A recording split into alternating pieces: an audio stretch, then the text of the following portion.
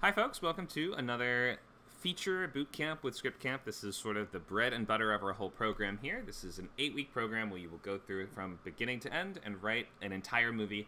This is basically how to write a movie 101. This is week zero, which is the introductory class, so you do not have to currently be enrolled to be here and watching along with us.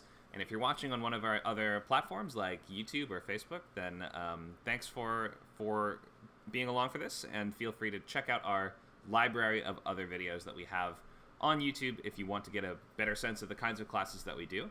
Um, but this will always sort of be the bedrock of the script camp kind of thing. We're a Discord community that is intended to take you from idea to finished draft to more polished script, basically as far as you want to take it. Um, and uh, we have programs for pilot and for feature, and coming up, we're adding a whole new boot camp just for writing novels.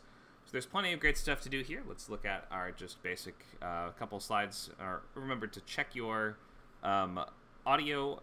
If you are having issues, here's some suggestions for ways to diagnose problems with your audio. The main thing is just keep that uh, little gray microphone icon next to your name in, on Discord indicates that you are muted. If you're watching on something that's not Discord and you'd like to join us for this live interactive class, because all of our classes are live and interactive, then you should come join our Discord server scriptcamp.net is the place to go. Um, so great little gray icon, uh, microphone icon means that you're muted. If you click it again, it will take it off and you can speak. But for the most part, we'll be using a text channel, which you can find on the left-hand side of your Discord window. It is called General Chat, right underneath where it says um, at the bottom of our dis discussion tab. You can see one uh, that is called. Oh wait, do we have a text channel for this class? Maybe, oh. maybe we can probably just rename the short film chat from yesterday. Yeah, like they can um so we the sync with the stream it has to be like you know, another channel but you oh, could okay. have them type in the text channel for the voice chat oh or right. okay. X, if, you, if you want. If it, it's up to you just let me know. Uh, but basically there will be at least one that's just like the stream people. The, the, stream, stream people's people. channel. Yes. We'll have to maybe we can just make a, a dedicated channel for them or something Okay. Ho- hopefully, with some evocative artwork that, that portray them as some kind of water-dwelling monster people. Um, okay, so yeah, let's just let's use the uh, this is a new feature that Discord has, but if you mouse over general chat, you'll see three little icons. One of them is create invite, one of them is edit channel, and one of them is a word bubble. So if you click on that, it should open up the text for this class that you can use. Oops, I spelled class wrong. All right. Um, so yeah, we'll we'll use that for now. Um, and uh, try, yeah, try to try to remind me to check that because that's kind of hard to find sometimes. Um, but uh, yeah, let's use that for most of your questions and comments in the class today.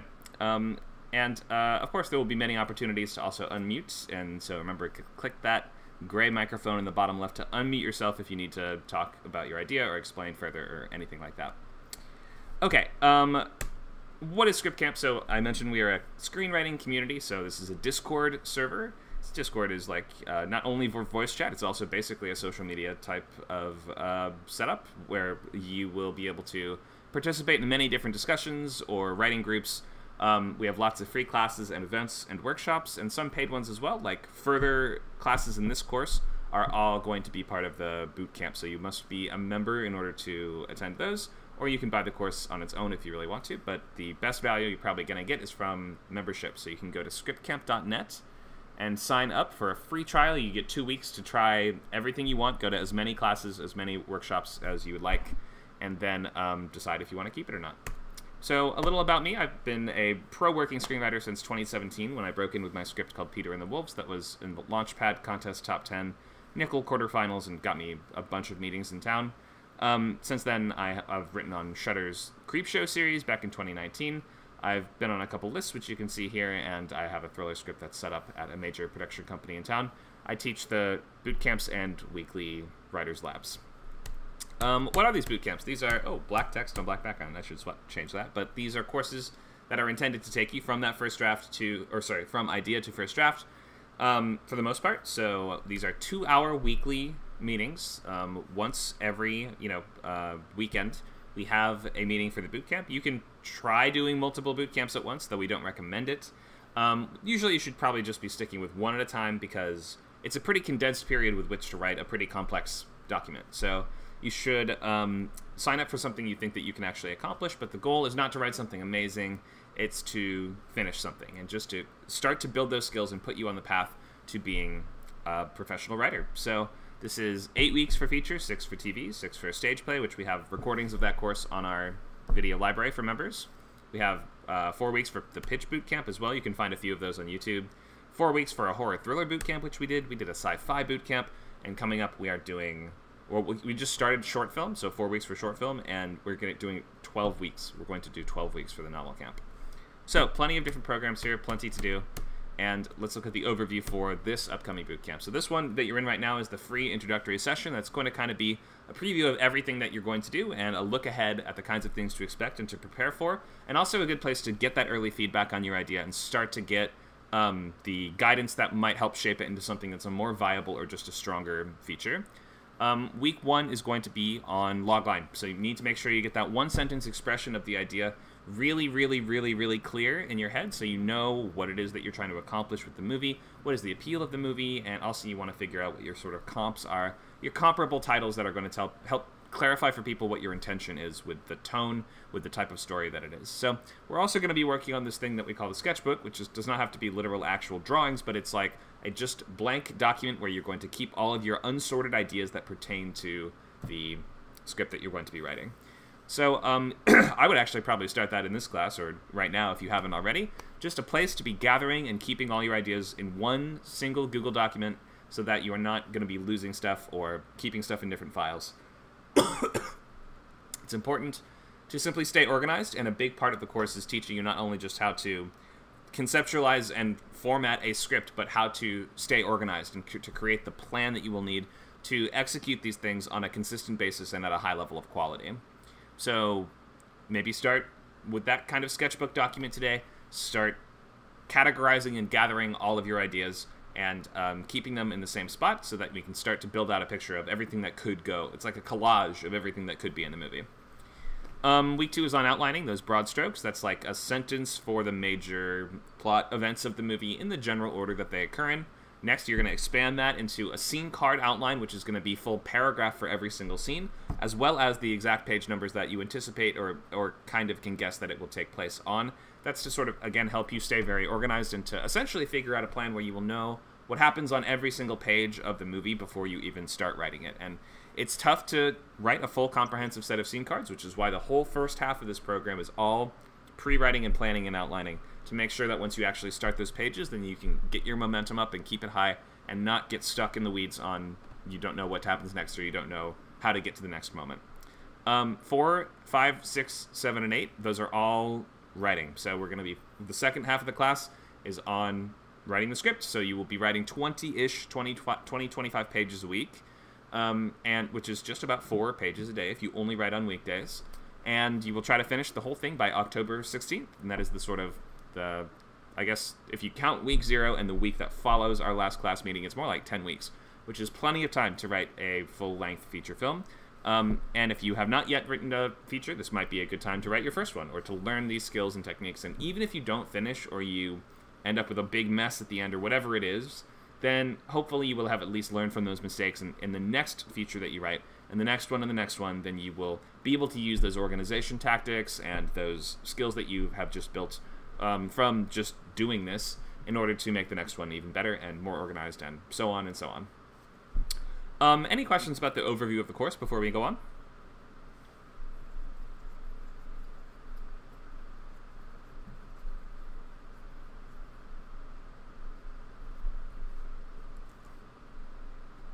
Okay, no questions. Let's keep going.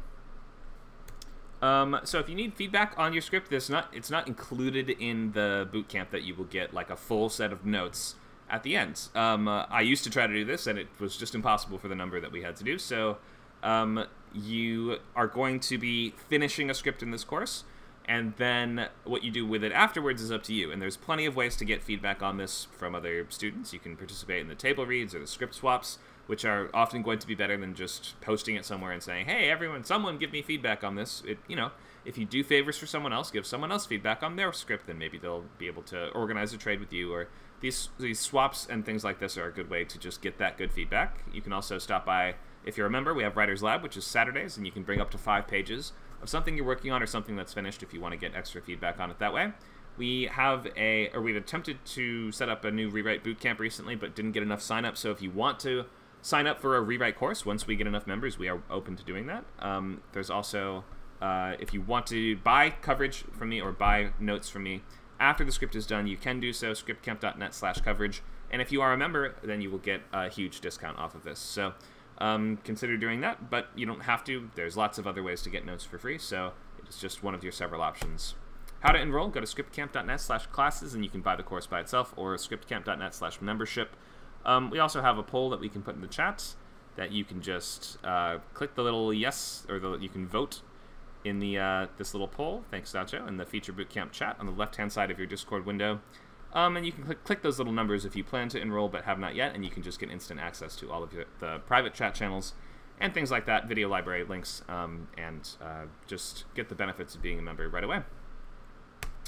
All right, um, that's a breakdown of the different membership options. We also have yearly memberships now, which are if you get you there's another discount. It's like 40% less than the regular rate, which is uh, only $30 a month for all of this if you buy yearly. So that is an option on scriptcamp.net as well now too. All right, so we have to look at what are our goals as a writer before we go into this. I mean, this course, I should say, is taught with the assumption that you want to be a professional feature writer in Hollywood.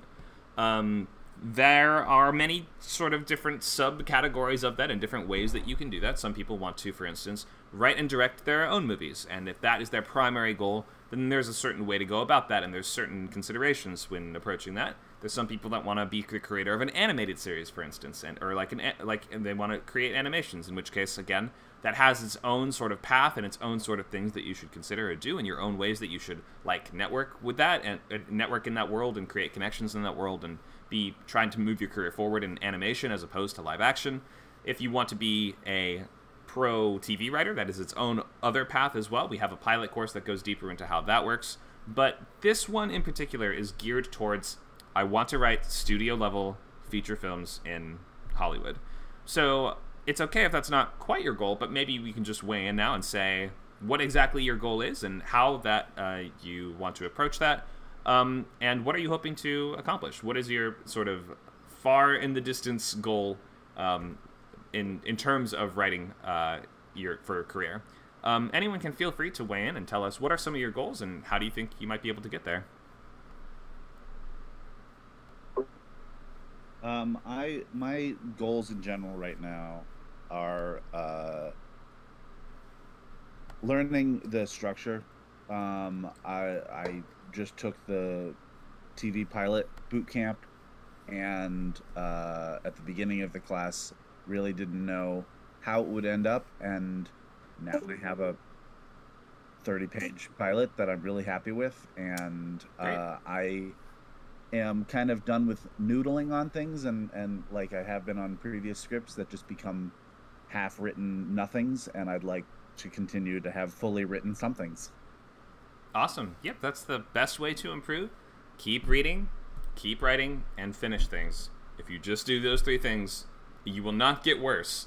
it's I don't think it's possible to get worse if you do those three things. So even if it's very incremental, you will get better just by finishing things and then moving on and finishing the next thing. One of those main skills that we have to work on as screenwriters is just the skill of letting go.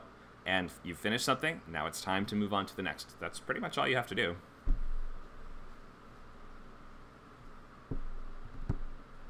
Thanks for the comment, Josh. Uh, anyone else? Gray says, I hope to create worlds and characters that people can find comfort, hope, and understanding in. Okay, well, that's a very uh, emotionally specific goal, which we don't see all the time, but that's great. I mean, that can that's nice that because that can be accomplished in a couple different ways. Um, you know, you can if you're just hoping to sort of create worlds and characters, for instance, then there's always short stories or web comics, or there's there's all kinds of ways to, to do that outside of writing fe- features, but um, features can certainly accomplish that too. So thank you for that. Was there more comments in the text? Hope says, I'd like to write a good feature film script based on my novel. My dream is to see it on the big screen. Okay, so an adaptation. Um, that is, yeah, ad- adapting things is, is worth a class on its own. That we are, we've toyed around with adding an adaptation class before, um, and haven't quite done it yet. But I would like to add that someday. So that w- that might be helpful uh, a little more specifically for what you're looking for. But when writing something as complicated as an adaptation of a movie, often it's good to approach it as if it's a brand new thing that's like inspired by the book that came before. Um, so maybe this course might give you some pointers for just how to create a feature from scratch that um, would help in the construction of an adaptation, even if it's like um, the, the way you go about it would be slightly different. You'll at least sort of build the foundational skills for how to write a movie at all. Um, Marcus says screenwriting and novelist goals. I want to do both. Hey, me too. Um, yeah, that's why we are adding that uh, new novel writing course that starts in September. So this this course will be done, and you'll be right on time to start the novel course if you want to do that.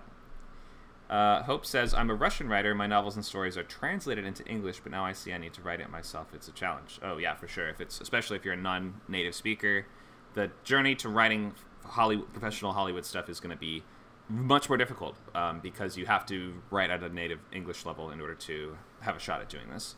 Um, but that's okay. I mean, there's plenty of non-English speakers that have, or non-native speakers, ESL speakers, I should say, that um, have had successful careers in Hollywood. It will just, it'll add an extra difficulty, but if you overcome it, people love the sort of different perspectives that different um, vo- voices from all over the world bring to Hollywood. So it is very valuable in some ways too. Anyone else?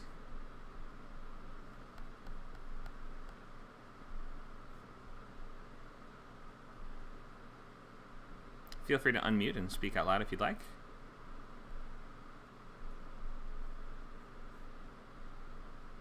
Okay, maybe that's everyone for now. That's okay.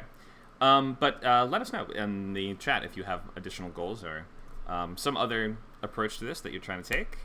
So um, the the basics of this sorry, are. Sorry, oh, uh, go ahead.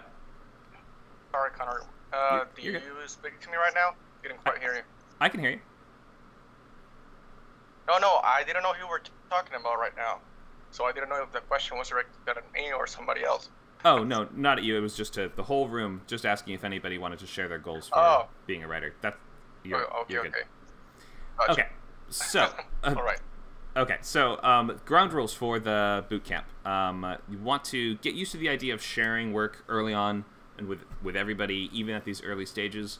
It can be difficult to hear that your idea might just have problems inherent to it from these early stages, so you have to get used to hearing this stuff. Two of the big skills that writers need to work on to work in, you know, to go from aspiring amateur to working professionally in Hollywood is this thing I mentioned of the skill of letting go.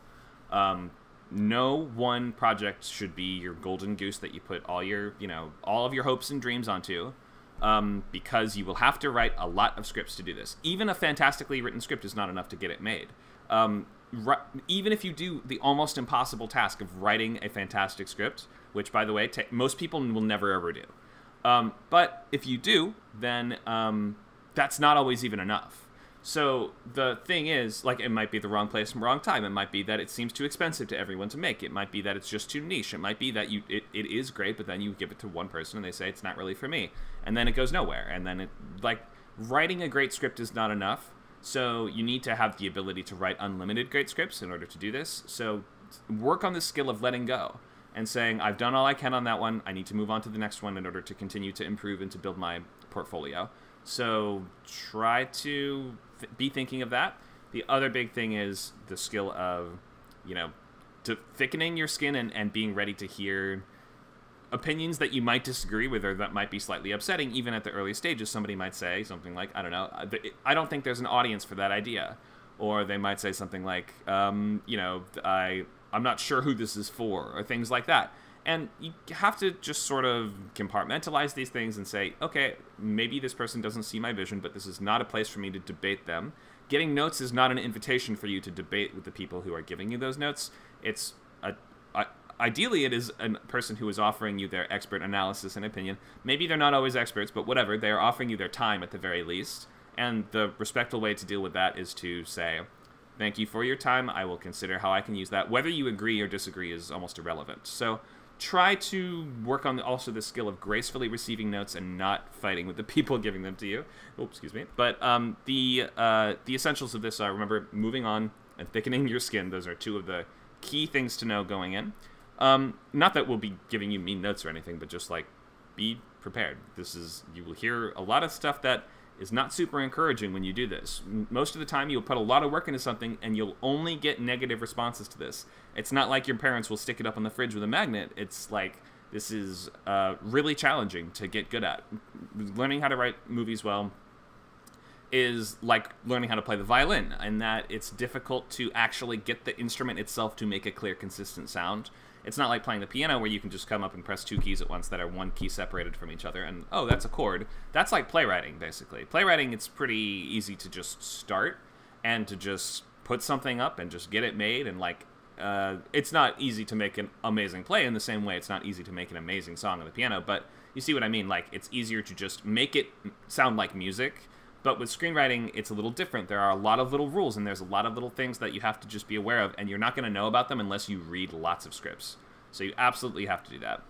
Um, you should also use your real name if you're going to continue in the course past today, or if you truly do not want to use your real name, then you can use just something else that is a real name, like your middle name or nickname or something like that. But you can't use screen names in the industry, so you have to either have your pseudonym or like you know your writing name or use just use your real name is what I recommend. Um, you can right click on your username to change it, or we can just change it for you if you want. But essentially, you can keep it whatever you want for this class. But if you're going to continue past the intro class of a boot camp and actually be in that boot camp, then you got to use a real name. Um, all right, more ground rules. Uh, don't do true stories, adaptations, rewrites, or anthologies in this course. Um, those are just things that will all probably take you more than the eight weeks of this class will uh, afford and just the ability to write a brand new original feature in 8 to 10 weeks is one of the key cornerstone skills of being a pro feature writer in Hollywood. So, as this is a class that focuses on that path and on that specific journey, that is how we are approaching this. So, try to get used to writing these movies in 8 to 12 weeks, you know, like 2 to 3 months at least for your a good solid first draft. Um, maybe another month or so for a rewrite, and then maybe, I don't know, one more month for another rewrite. So that's like, what, four or five months for the whole thing? Done. If you're able to move on from that and do it again, and you're writing two or maybe even three scripts a year, that's a pretty good way to approach things um, and uh, like to start to build up to a portfolio that you would consider being able to enter into contests and also share with people. So you try to be writing, you know, two to three features a year at the least, maybe more. Um, don't write time travel, just trust me, especially if you're newer at this. It will just be a huge headache, and you just don't want the majority of the notes that you get to be asking what on earth is going on in the script because the more that we have to work to figure out wait wasn't that a paradox with that timeline? And because you made that little change or you there was a typo on that page and that like all these things in these early drafts are, just become so much harder to keep straight and harder to keep organized and harder to avoid uh, plot holes and stuff like this. You just don't want the majority of your notes to be on other stuff besides characters story scene work these things that we can really get the most out of the feedback on these things. Um, to that end, you probably don't want to write a historical story just because those often will require that extra research time. If you already have a background or basis in that subject, it might be fine. I don't know. Or if you just really you love you, all you ever read is you know um, Victorian romance books, so you really want to write a Victorian romance movie, and you have a good you know background in that, then sure, okay, go ahead. But it's I just don't recommend it because it will require more background research. Um, be careful with stories that involve ideas like clones, parallel universes, extensive use of montage and flashback, unless your movie is fundamentally kind of uh, using flashback structures all throughout. Like you have multiple timelines, or and even that is like really tricky to get right. So be careful there. But um, you know, just try to write the most linear beginning, middle, end story you can. If that sounds limiting to you, you should just know it's not really limiting at all. But you know, if if you are newer at this, try to avoid using these fancy techniques that might get in your way and just prevent you from writing a script in 8 to 10 weeks. You're trying to just pick an idea that you can write in 8 to 10 weeks because the, the, the core of this is you're trying to write something and finish it and move on to the next thing. That's what the bootcamp is sort of about. So I will be suggesting that you move towards ideas that seem more feasible within 8 to 10 weeks. But it's a great time to take just a big swing and try something wacky or crazy or fun something that might not take extra research, but might be something you're like, well, that would never get made. No one would ever make that, or I'm the only one that would go see that. This might be a fine time to do that. You're not trying to write something that will sell. You're trying to finish a script. So look at this as practice. This is like going to the gym. You're lifting weights, and you are just you know running laps around the track and trying to get better at these fundamental skills of screenwriting. Don't get too attached to the script. use an idea that you are not as attached to, and be prepared to just use this as like that. You know, these are the laps. This is the practice. Um, you're not going to have to rely on this winning a contest or getting an agent or selling or anything like that. You're just here to improve as a writer and to learn this craft. Looks like we have some comments in the chat. Hope says my name has 21 letters. That's why I go by its translation. Okay, fair enough. Yeah, I mean you can always use a, a nickname or um, some some other version of your name if you want. Whatever is easiest for you and is a name. Um, okay, so let's uh, finish the ground rules, then I'll take questions on these before we move forward. So if you don't have an idea yet, just think of what is some mashup of concepts you've always wanted to see, but you never thought it would get made. Um, I already told, I already mentioned this one. Get used to sharing work at the early stages. Um, oh yeah, these. I think there's some repeats on here. That's okay. All right. So hopefully we get the idea. You're you're trying to just pick something that you can finish in the time span of the class and have fun with it. Something you can just have fun with and something you can complete. Let me take questions on um, the ground rules. Anyone have any questions on these?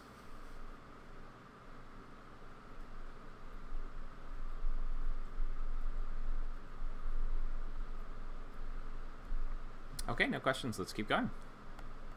Um, so this is the steps. We start with logline. Oops, we're not on scene cards today. So we start with logline.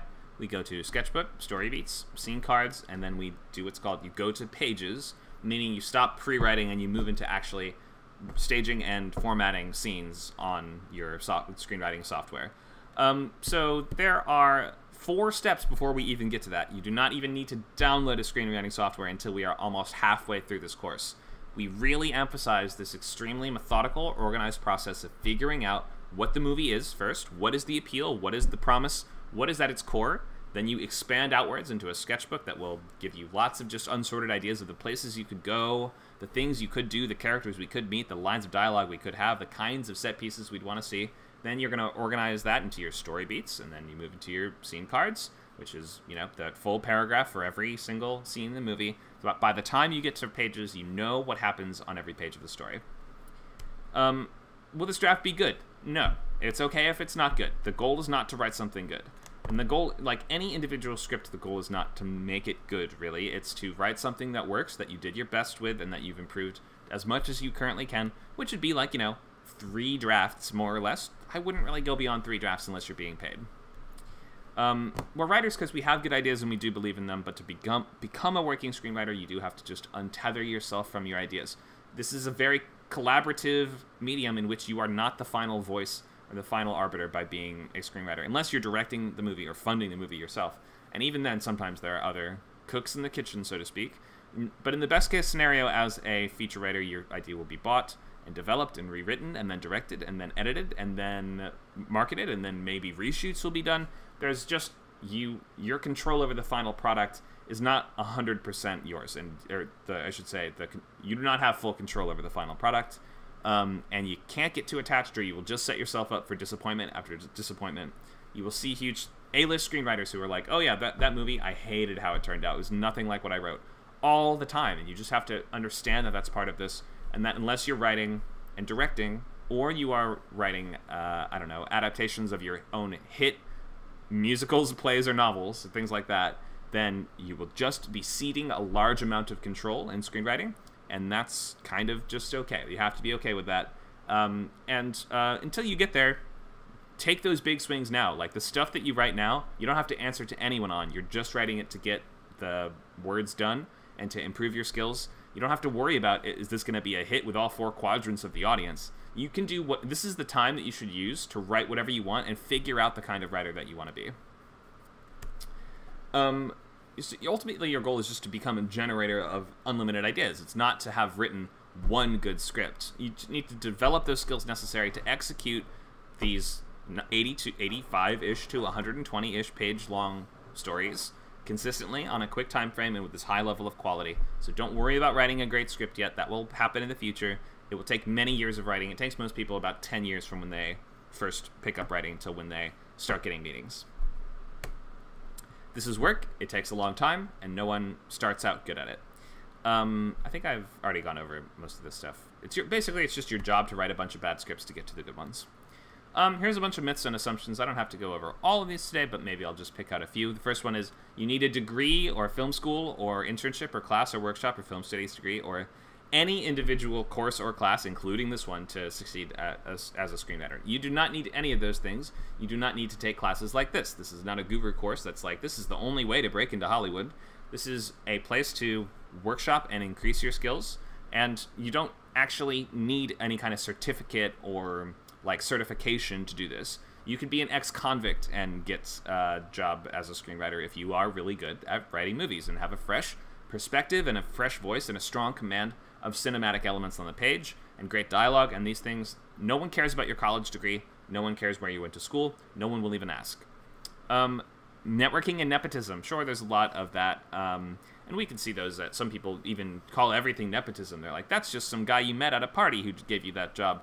And yeah, sort of. Um, that's networking. That is the a big part of this job is you probably have to move to Los Angeles eventually. You don't have to right away, but when you are ready to start meeting people here, and uh, this is a very very social job. This is not a secluded type of writing that you can do all by yourself at home. You have to be willing to go to bars and parties and meeting with assistants, and especially if you're in your 20s or early 30s, then it is a good time to move here and to start to meet people of the same ages that are trying to move up in the world of management and um, agenting and production, producers, people like that. They will be at their um, these events and things like that, and you have to just be willing to make friends with these people and meet their friends. And this is a super social job with a lot of interaction that you need to do to build a network of people who might read you or pass your script to someone or um, you know it's not the type of writing you do all alone in your basement by yourself you, you kind of have to move to Los Angeles eventually to, to do this. Um, but don't worry about that until you're fantastic at writing. The first step is to become fantastic at writing, which takes the longest time of any of the steps. So until you're like, I have three to five amazing scripts that I'm really proud of that I'm to- I totally nailed, I would not think about moving to Los Angeles yet. There's unless you know unless you want to start networking early, you want to work on set perhaps, or maybe you want to go the assistant route to work in TV um, then you can move to Los Angeles. The sooner the better, um, because those jobs are hard to get and will not get any easier, and you're not going to get them unless you're here. Um, some other, just a couple key points on here. Um, which one? Which ones should I highlight? Uh, you can. Um, how about this last one? I think most of these are pretty self-explanatory. I think I mentioned already you don't have that much control over the final product. This idea that bad movies are written by bad writers, I've kind of touched on. I mean, the idea that most of what we see on screen, it has been rewritten and reworked by producers, additional writers, rewrites, directors, editing, casting, everything that changes the product from when it is a script to when it goes to the screen. There are like dozens and dozens of other hands that it must go through to get where it goes. The people that you that are writing movies on the, that we're seeing on the big screen are at the absolute top of this craft. And even if they wrote, I don't know, Fast and the Furious 25 and you thought it was so bad, whatever, those writers are at the absolute top of this game and are fantastic at what they do. They have to be to get to that level. Um, so it's not to say that there are no bad scripts or there are no bad movies, but just remember how the process works. Remember that this is really collaborative and very corporate, and there's it's a movie is like a hundred million dollar company at a certain level. It's a it's a business. It's not just one it's not a what you're writing is not just a story it's a proposition to create a business that will move hundreds of potentially hundreds of millions of dollars and employ hundreds of people. So you can see why there's so many cooks in that kitchen and why it's not just like oh this is a good script let's go shoot this. That's just not how it works. There's so many other people that get a, a say in what happens in the story besides you.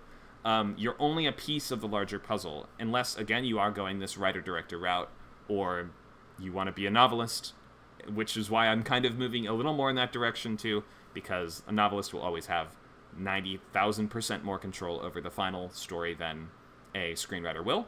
So if you're writing novels first, or comic books first, or something else first, and then adapting them, then they, there will be a lot more um, respect paid towards that source material. But even then, stuff gets changed. I think you've seen stuff gets changed from the book all the time. So movies just require so many people and so much money to work on them that the writer is not the end all be all voice of how everything goes in the movie. It's just I hate how it's like that, but writers are not fully in charge when it comes to features. Um, and unless you're making independent, independent, it's a whole separate world, and you can do both. You can also, you know, do write some independent movies, write some studio movies, but the studio movies are the ones you're going to get paid uh, significant amount, much more for, for the most part. Um, okay. Any other misconceptions on here that I wanted to point out? Oh yeah. Once I get an agent or manager, that's it. That's I'm all done. I have a career. I'm I'm rich.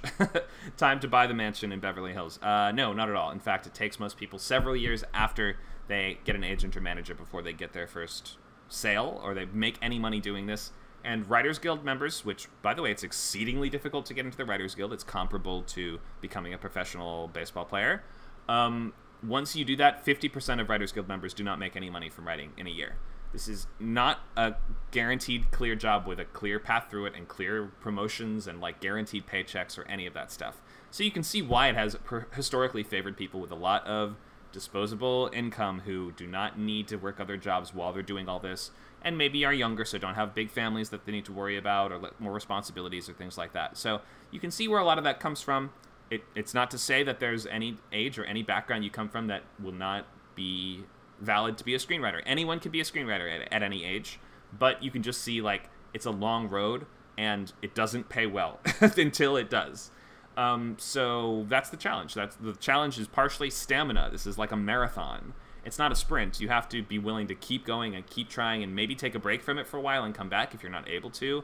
Keep up with it for a bit. Um, but this is a it's a challenge. It's a, it's a really tough career, and that's why Script Camp is focused on just that first most essential step that most people do not. Uh, a lot of people never fully surmount this hurdle of just become fantastic at writing, and all these other steps become easier because it's like, how do I network? Well, if you have a great script, then people will want to network with you.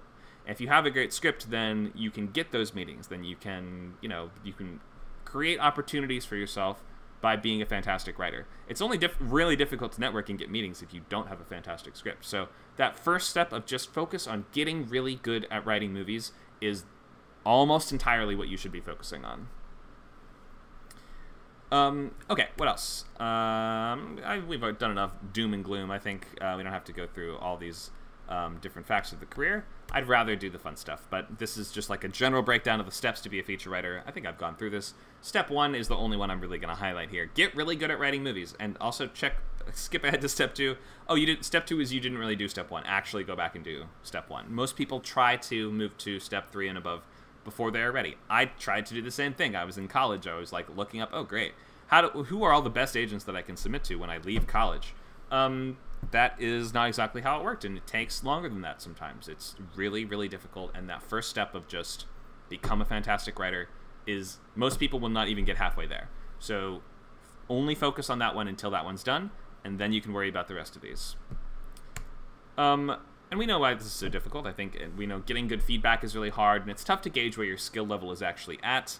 And a script is just a really long document that you can't really take a cursory glance at and get a good sense, unless you are an expert at it, what works and what doesn't about it. Some people are better at giving feedback than others and better at analyzing scripts than others. People who don't read scripts usually just want to support you, and people who do read scripts for a living almost never want to do extra work outside of the office, so it's harder to convince them to actually give you that time. Um, and a lot of places that will give you that good professional feedback will just cost a lot of money.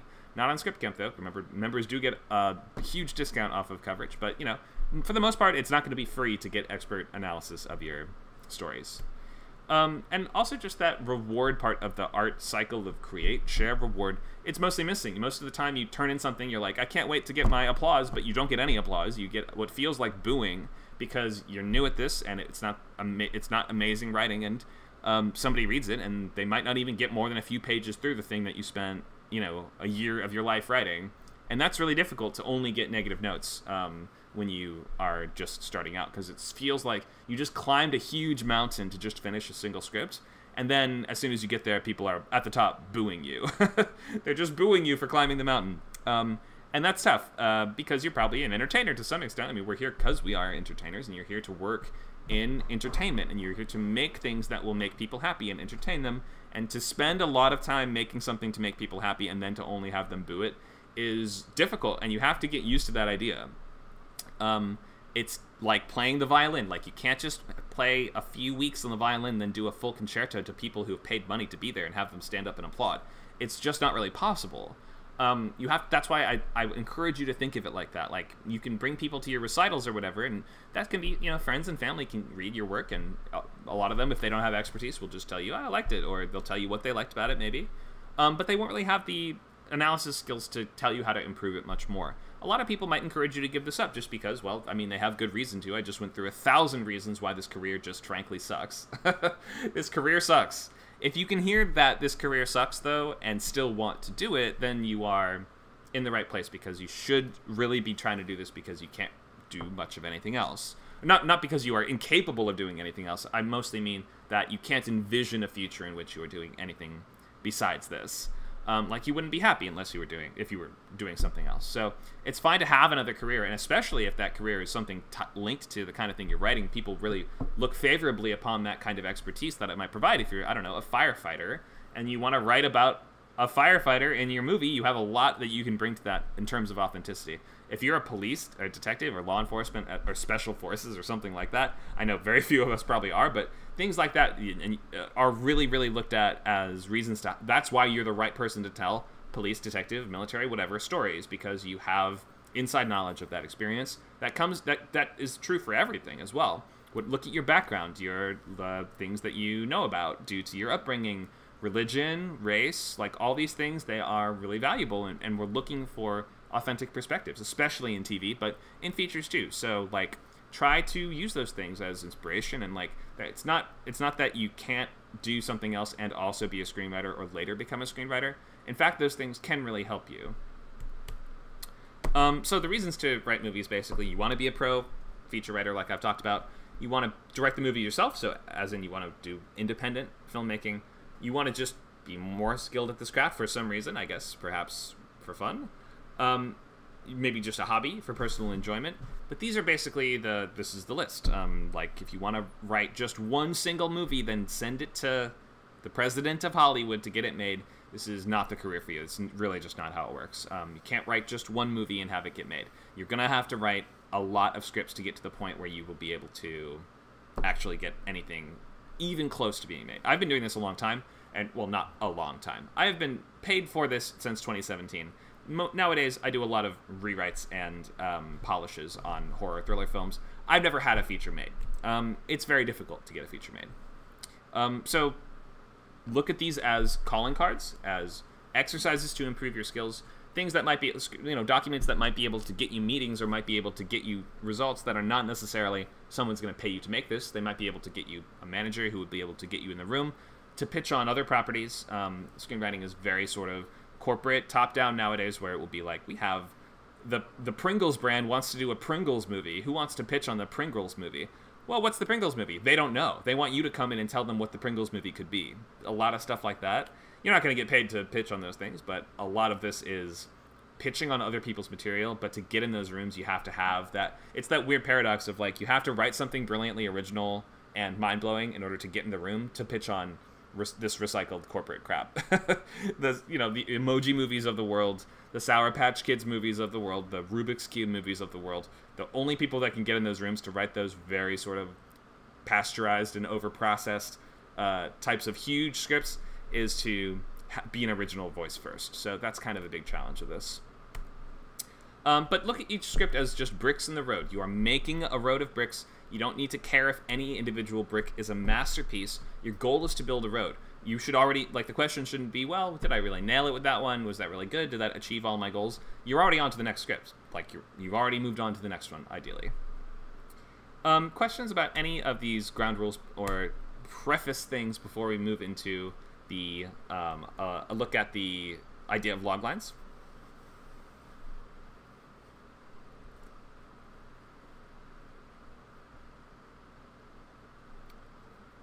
Questions about just those basics of the career or any of these things to know before going into this?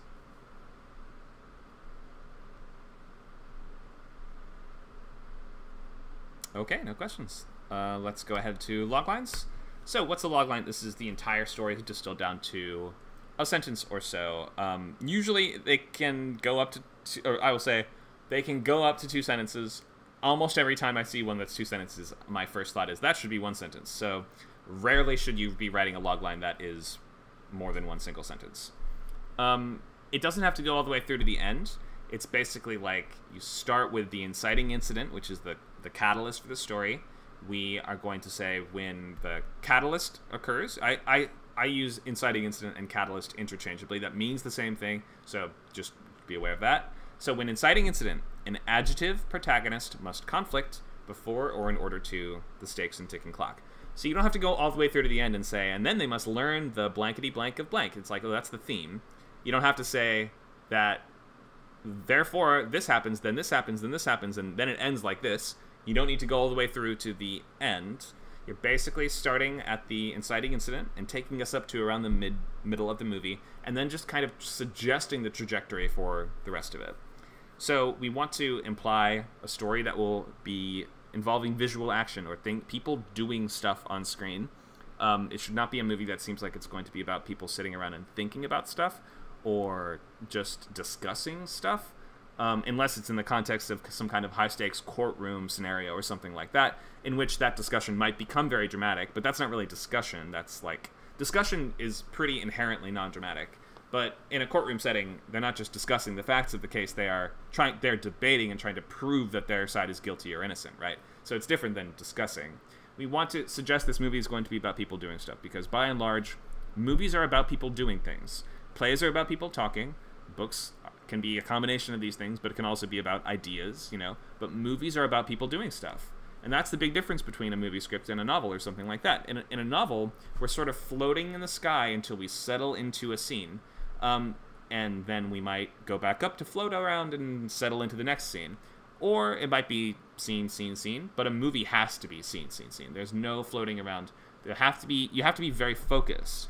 And a big part of that focus is just in Western storytelling, we prefer stories that are centered on a singular protagonist.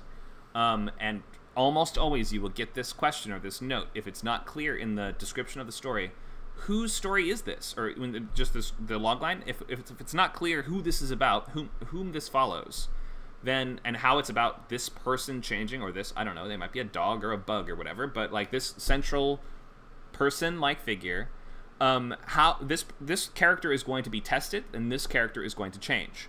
In western storytelling there is a very strong emphasis on protagonist driven stories so the hero needs to stay active and it needs to seem like this is this person's tale. And usually, most of the time in features, it's the most important events of their life, at least thus far. Um, that isn't always, always, always true. But generally, the stakes should be as high as they possibly can be for your genre. And if we're doing, I don't know, if it's like a middle school romance movie, then the, the stakes for that are not going to be life and death. It's going to be like, my, you know, your the girlfriend and boyfriend break up or something like that. Or it might be they get in a fight or whatever the stakes are, it should basically be as high as it can be for that world that they're in.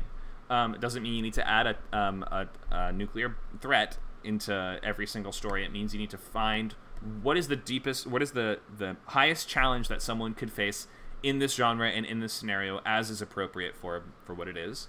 And uh, how do I make sure that they are encountering that? They're feeling the highest highs and the lowest lows that your premise has to offer. So in the logline, we want to say this is going to be a story where you will watch people accomplish stuff that have clear and tangible goalposts, meaning it's we're going to avoid describing things in terms of like she needs to come to terms with her father's uh, alcoholism. It's like, okay, when is that actually done, though? That's just an internal process that you've described with no tangible goalpost. A tangible goalpost is something we can see people accomplish. Um, so if you can have dramas that have very tangible goalposts if it's about the relationship between two people. One of them is trying to convince the other one to not go to college in a different state, to go to college here. So that is a tangible goalpost. It's not like they have to navigate their complex relationship. It's she has to convince her sister not to go to college. That's something you can see if that has happened or not because she crumples up the application and throws it in the trash. Like we're able to track all kinds of goals through tangible goalposts. Think of something, and I, I was using that example in terms of something like Lady Bird, which is a, um, a kind of sleepy indie dramedy. Maybe it's not quite mumblecore, but it's close. Um, but it's like a you know a quiet dramedy where the, it's about the relationship between the mother and daughter for the most part, and it it hinges around this decision of where is she going to go to college and like is she going to go to the college she wants to get into. That is a very tangible set of stakes and a finish line for this character in what otherwise would feel like just a movie about I don't know, mom and daughter are fighting. Like there's no tangible goalpost in a fight normally. So if you have a conflict, just no matter how social it might be, no matter how internal it might sort of seem, there's always a way to create some kind of tangible external way of tracking that. Think of something like Little Miss Sunshine. It's like a dysfunctional family ensemble. There is a main character, more or less, but it's like there is an ensemble of different family members, all who have their own sort of conflicts going on. Um, and we put them in a car together and say, you have to get from here to there by this time. And that simply gives you a tangible goalpost to a, a story that otherwise would just be people fighting in a room.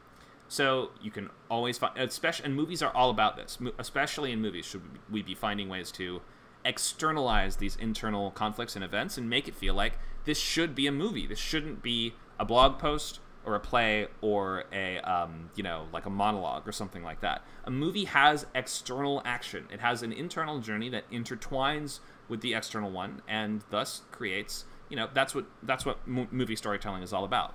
The external intertwining with the internal. Um, so we need to know who's the protagonist. What do they want?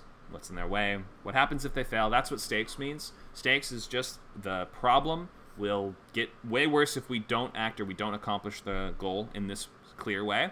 And we have ticking clock, and ticking clock is going to be some factor that is causing your characters to act. It's like adding urgency and motivation to what they're doing because it comes with some kind of clear and visually trackable, usually um, like consequences that are approaching for the character. It might be an actual bomb that's you know it's we have 20 minutes to solve the escape room to get out of the saw trap or whatever or it might be something like, I don't know, your characters are throwing a giant party, and mom and dad are coming home early, and they're going to be home in five hours, and we have to now clean up the entire house and get rid of all the drunk people before mom and dad get back. That's a ticking clock, too. So having those elements in the logline is really useful for just establishing what we call the walls of the story. And the walls are going to be those boundaries around where we can go, what we can do, how much time this takes place over, all these things. And certain genres just need clearer walls than others, especially if you have something like a contained thriller a contained thriller needs to have the walls delineated in the logline really clearly. It's going to be something like, you know, when they wake up in a remote missile silo together, two scientists need to figure out a way to stop a nuclear war before, you know, the end of the day because that's when the nukes are going to launch and they're going to be blamed for it. Something like that where it's like we have some kind of really clear thing that these characters need to do before this time. So try to include something like that in the logline if it seems really important. Um, or if it's just not implicit in the description of what's going on, then it can be helpful to sometimes to include that sense of a ticking clock, um, or at the very least the stakes. Um, the stakes being as high as they can be for your genre. Okay, so um, we are almost into our second hour, and in our second hour, we will have this time to look at a few loglines. So I would start, if you have not already done this, start typing up an early version or just the first approach, first attempt at the at some loglines for some of your stories, or maybe you don't really know which one you want to choose yet, so you just have vague descriptions of a few of them. That's also okay. We can start to maybe give you the boost forward into developing some of these and turning them into working functional loglines. The goal is to just get your gears turning. It's not like this has to be perfect by next week or anything like that, because next week is week one, right? But try to decide at least on the idea that you want to go with today, if you can. Um, we can we'll try to give you a push to doing that if you need, but um, the uh, the actual nailed down logline that's like by the end of next uh, it's either next class or, or next week that we try to get that done by. I forget what the schedule says but um, doesn't matter. So for now just try to get those ideas out. Try to just start shaping your thinking and try to be picking what movie do you want to spend the next two months working on. Um, so i would open up google docs if i were you and start just make it you know make your brand new document call it name of movie sketchbook or just if you don't have a name yet just call it sketchbook whatever you want and just start writing down ideas and start as you're listening to the class and as you are in this be writing down this early version of your idea so that you can get ready to copy and paste it into the chat.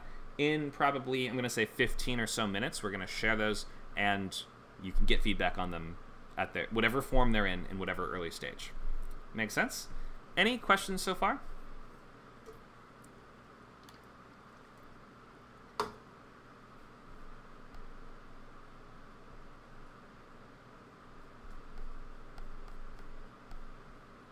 Not a lot of questions today. That's all right. No one? Okay. Well, uh, oh, ha- hang on. Let me check all the different text chats just to make sure. Uh, yeah, looks like no questions. All right. Um, so yeah, start working on those. Um, be ready to post those in about 15 minutes. Let's uh, go over um, a little more about the sketchbook. And um, so as you're making this here, let me just, do I have a slide about making it? No, I don't. That's okay. Yeah, so head to Google Docs and just create new blank document. There's no right or wrong way to do this or no right or wrong thing to include in here. At the top, I would include your logline, your genre, and just, um, or like, you know, an early version of the logline and just something like the genre, the runtime you think it'll be, so like page count you're aiming for, stuff basics like that. And then below it, you can include whatever you want. It's a place to collect all your notes and sketches and ideas, pictures and video links from the internet, from your research. Maybe you want to include passages from books that you've read. You want to flesh out your characters and write a full list of characters, especially if you're going to do a story that has a lot of characters. You're going to need to probably create a list of them up top um, and maybe brief descriptions of who each of them are, like a cast list almost. Um, act two scenes are set pieces, so this would be fun kind of set piece moments that you might envision in the trailer. Um, that's stuff that's going to be used to populate your act two, which is the most important part of the movie, the backbone and the meat of the movie. Well, it can't be meat and backbone, but it's the the the heart of the movie is act two. We say act two is the movie. So unless you have a couple sequences in mind for what would be in the middle of this, then it's usually not a good idea to pick an idea that you can't Im- imagine the middle of. Um, it's nice if you have an idea for the ending at the beginning, um, but these like three to five sequences right in the middle, that's what we want to see in the trailer. We want to see the, the stuff that you promised and stuff that offers some kind of unique thrill within its genre and within its world. So try to pick set pieces and, and start be thinking of stuff that could only work or could only happen in this world. If you're doing a movie about a mermaid firefighter, then you want to make sure that we're doing scenes in the middle that are showing her mermaidness being complicated by her firefighting and her firefighting being complicated by her mermaidness. Look at the two things that are clashing or combined, and that's what is going to often populate the middle of your movie. It's going to be where we see the the the premise really shine is in those three to five sequences directly in the middle. So try to come up with ideas for what those could be. They don't all have to fit in the movie. They don't all have to work or make sense or be that good, but just try to come up with a bunch of stuff. Other things you're going to want to brainstorm possible endings because the ending is the point and the ending is you know although the the the middle is the move, the second act is the movie but the ending is what we walk away with so like we we remember how the middle made us sort of uh, feel but we're going to remember specifically what happens at the end um, so that ending is actually really important try to pick an ending that is um, as impactful as possible and feels unexpected yet inevitable. That's always what we're going for. Unexpected yet inevitable. So if there's um, you know if there's going to be if the whole movie is working up towards this one battle between your hero and your villain we know that they're going to clash eventually but it can always unfold in a slightly different way than we think it will um, it doesn't always need to look exactly like someone's first assumption would be and maybe even think of what are your first three guesses for how something like this might go and then work from there. So think, okay, what's option number four? What's option number five? To avoid that kind of sense of familiarity in the stories, if you find yourself just gravitating towards things that you've seen before, or things that you've read before, or things that you've seen done before, maybe list out those first three or four things that come to mind and ask yourself, how do I innovate or iterate on that again and make it even more unique and make it even more different? Um, also, coming up with lines of dialogue. If you have lines of dialogue that just spring to your head and, and maybe you don't know which character should be getting this line yet or you don't know which character um, this belongs to then doesn't matter we just need to be trying to figure out the voice of this and what kind of lines are in this world like what kind of is this a comedy in which case we want to see maybe some ideas for jokes if this is um, you know uh, a really serious drama maybe we have some ideas for monologues whatever it is just include it in the sketchbook as as long as i'm sorry uh, alongside all the photos, drawings, and links and anything else that will just help you research or help you understand this world, the specific rules of it, and the specific look and feel of it. So I recommend if you're doing stories that are set in a country or um, city that is not your own, if they're set in the modern day at least, look up walking tours on YouTube. So um, just go to YouTube and search for that city and then walking tours, and they will you will find a bunch of really good links of people just walking around with a steady cam, and sometimes it'll have commentary or annotations that will explain more about like oh that statue is you know built in the 1500s or whatever. But more importantly than that you'll just get the feeling of someone walking around in that place and you get a sense of what that place sounds like and the kinds of stuff that you wouldn't necessarily notice from watching a movie about that place. So I recommend those actually, you know, the walking tour videos, they're like an hour or, or more. Um, but uh, you want to really feel like you can immerse the reader there in the same way that somebody would feel if they were there. So I suggest walking tours and just tour type videos if you are looking to set it in a real modern day locale, um, especially if it's one that you are not familiar with. Okay, um, so questions on sketchbooks.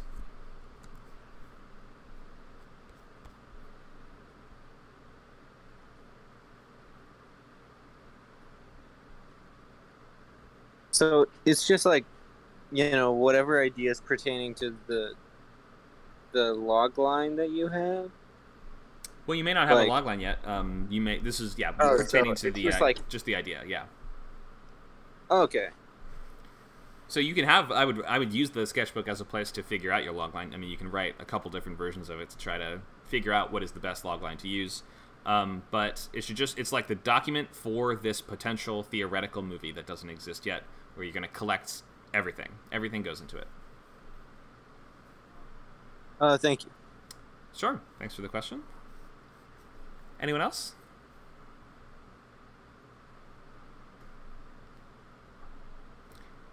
So, as a final um, thought on this, some people really, really, really like to use Microsoft Word or Pages or Notes or other stuff for this. Um, you can use whatever you want, but for the purposes of Script Camp, my rule is we're only linking each other Google documents or PDFs.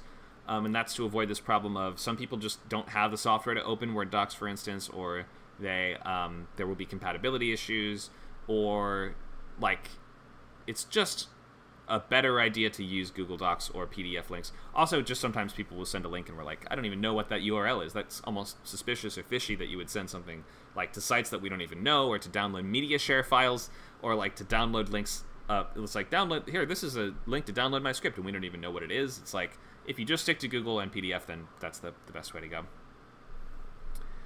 Um, okay, no other questions on sketchbooks or anything we've talked about so far?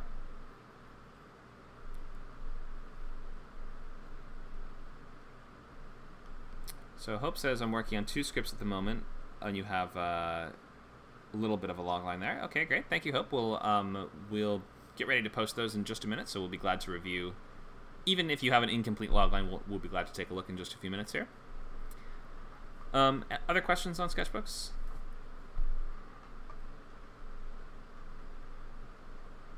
Okay. Where are we posting stuff? Because I didn't see that message. Oh, um, so there is a if you mouse over general chat, there is a chat channel attached to the voice channel. So it looks like Oh, a little word bubble that says open chat. Yeah, it's easy to miss, and it, the, um, Discord just added it this feature, so uh, yeah, tr- tricky to find. But that's where we're doing chat today. Um, what was I saying? Okay, yeah. So that's where we'll be sharing your logline soon. Let's um let's just do a couple more slides, but uh, just be be writing that early version of the logline in your sketchbook for now. So the next things we'll be doing, I'm just going to give you a glance ahead. You don't have to study this extensively, and you should be writing the logline right now anyway. But let me just give you a little preview. So story beats is what we're going to work on after sketchbooks are done. So that's when you take everything in your sketchbook and start to arrange it under these structural headings because a movie is comprised of uh, a three act structure. I mean, at least in Western storytelling, three act structure is what we use. Um, and you can start to figure out, okay, I know what what moments have to occur in the story, so you have a couple things you can already put on your plot board or on your outline. You're gonna already know a few of those just from having a well written logline. So from there, you're gonna work forwards and work backwards from those things and connect the dots and you know reverse engineer the entire story from just those plot points that you have, and try to flesh out a clear and uh, coherent version of the narrative. Um, it doesn't have to be incredibly comprehensive until our next week, which is on those scene cards. Scene cards are just an expanded version of the story beats, wherein we now have a full paragraph for every scene in the movie, describing what happens in each scene. This is the heavy lifting of the writing, and this is where you have to actually make a lot of choices and figure out what is occurring from scene to scene. So if you're used to doing that while working on the page and while actually formatting in the software, this might be different for you. This might be challenging to think, I have to do all the hard stuff up front, really, but it will just make writing those pages so much easier. So this is the method I have always used, have always taught, and we've seen a lot of people have really great results from. Just try, just try it. Just try forcing yourself to organize in this way, even if it's not your normal approach, and just see if it works, and more or less see if it figures or see if it allows you to finish the movie. That's what the main goal here is. It doesn't matter if it's amazing. You're trying to just get it done. Um, okay, anything else I want to say? Uh, yeah, any last questions before we start um, sharing loglines?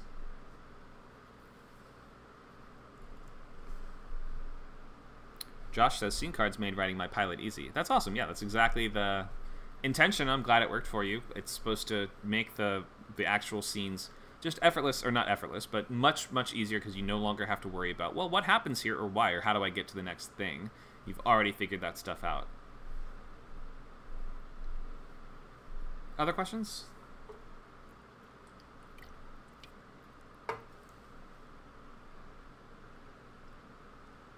Okay, um, let's. If there's no more, then let's uh, let's look at some loglines. So in the chat, share whatever you have, or if you just have a few sentences describing the idea that are not even really a logline yet, whatever it is that you've got, um, now's a chance to share it and get some of that early feedback on it to start shaping it into a more coherent movie idea. So we'll give you guys a minute to post that, and I'm going to open um, a blank document so we can start making notes on them.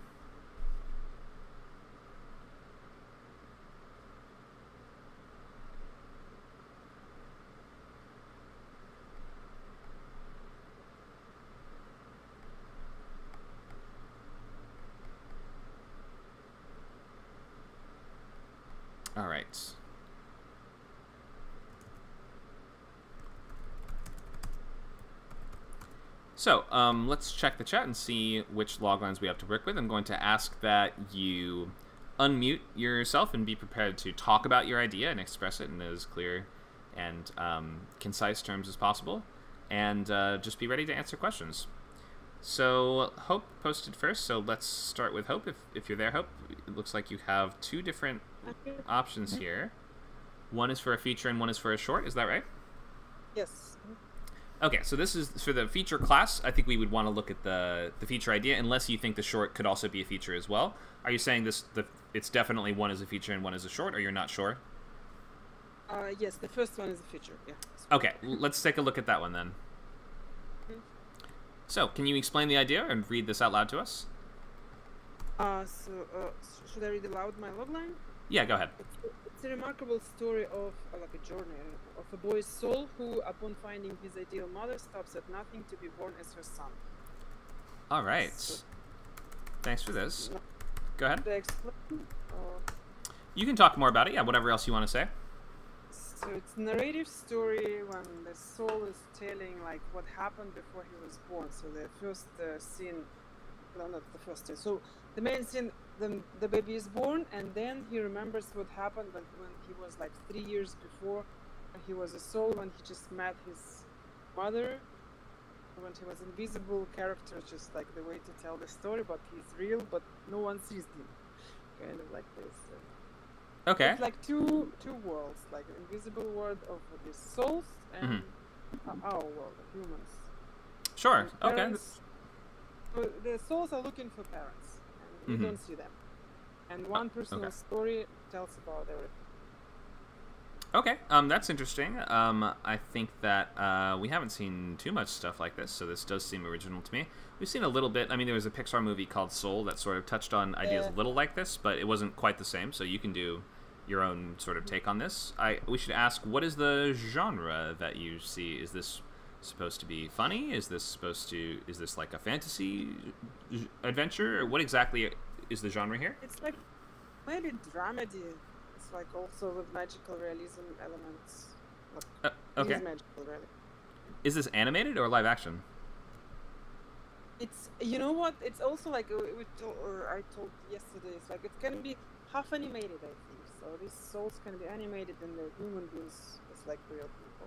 Oh, okay. So do you see you sort of see this as like a family movie, perhaps, like um, something like a Pixar sort of tone? It's. I don't think it's for the kids. No. You don't think it's for kids, even though it's about a kid? Yeah. There's some very serious topics involved, like abortion and stuff. Okay, I mean, it's uh, normally our it's it's. I mean, you can, you can definitely do that. I would think that uh, half animated adventure starring a kid that's not for kids at all is really rare to see. Um, almost, I don't think I have heard of anything like that. Um, so at least in the Western market, this sort of thing would be marketed for. This would be like a Pixar or DreamWorks type movie for the most part. Um, that's not to say. I mean, for especially for a boot camp, you can do something. You can do whatever you want, but you should just be aware that's what people are going to expect. They're going to be like, "Wait, this isn't for kids." They're just going to be surprised by that. I would say. Um, so uh, something to know. Uh, if we're going to say dramedy, I guess that makes sense, or dramedy slash fantasy, I suppose. Um, so what is he mostly doing in the movie? What's the conflict exactly? You say it's a boy's soul. He, upon finding his mother, stops at nothing to be born as her son. But what's standing in his way? It's kind of, of his conflict with himself and society, of his society. It's like it's heaven chancellery, right? So like some bosses from above who make some rules. Like for example, if she wasn't be born uh, from this mother, like at first place, she can't go back to her. And like the, he breaks those rules. So like, is it? I don't know. it's like inner conflict. Hmm. Well, inner conflict is the opposite of what we're looking for for movies because that is more for inner conflict should of course be in a movie, but we're looking for an external journey that can intertwine and interweave with in an internal one. Um, especially in a movie where you have people flying around as invisible souls, I, I think we want to see them doing stuff. We want to see them with some kind of external, like tangible finish line, um, and some kind of clearer sense of what is this character struggling with. If it's just inner conflict, that's like, what is he doing? Sitting in a room thinking about stuff? No, we no, want to no, have. It's, it's not just, Go ahead. No, no, no. I, I was wrong with explanation. It's not just inner conflict. So there are some bosses make rules, and at the end he just break these rules. But I don't know. Maybe I just need to think more about like what wasn't his way, why he couldn't break these rules. So it seems like Yeah. he broke it too easy.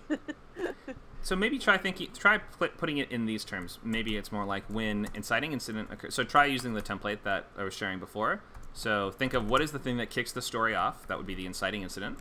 So when inciting incident happens, an adjective, protagonist, adjective, protagonist must conflicts before slash or else stakes. Um, and that is going to clarify like now that this thing has happened, this character must do this tangible journey. Like he's got to, I don't know.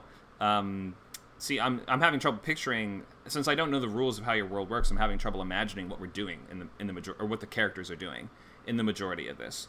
But if it's like, um, think of something like uh, Inside Out, with which Inside Out is another sort of animated movie about not spirits, but like they're emotion characters, right? They're like little uh, happiness and sadness and stuff like that are the main characters.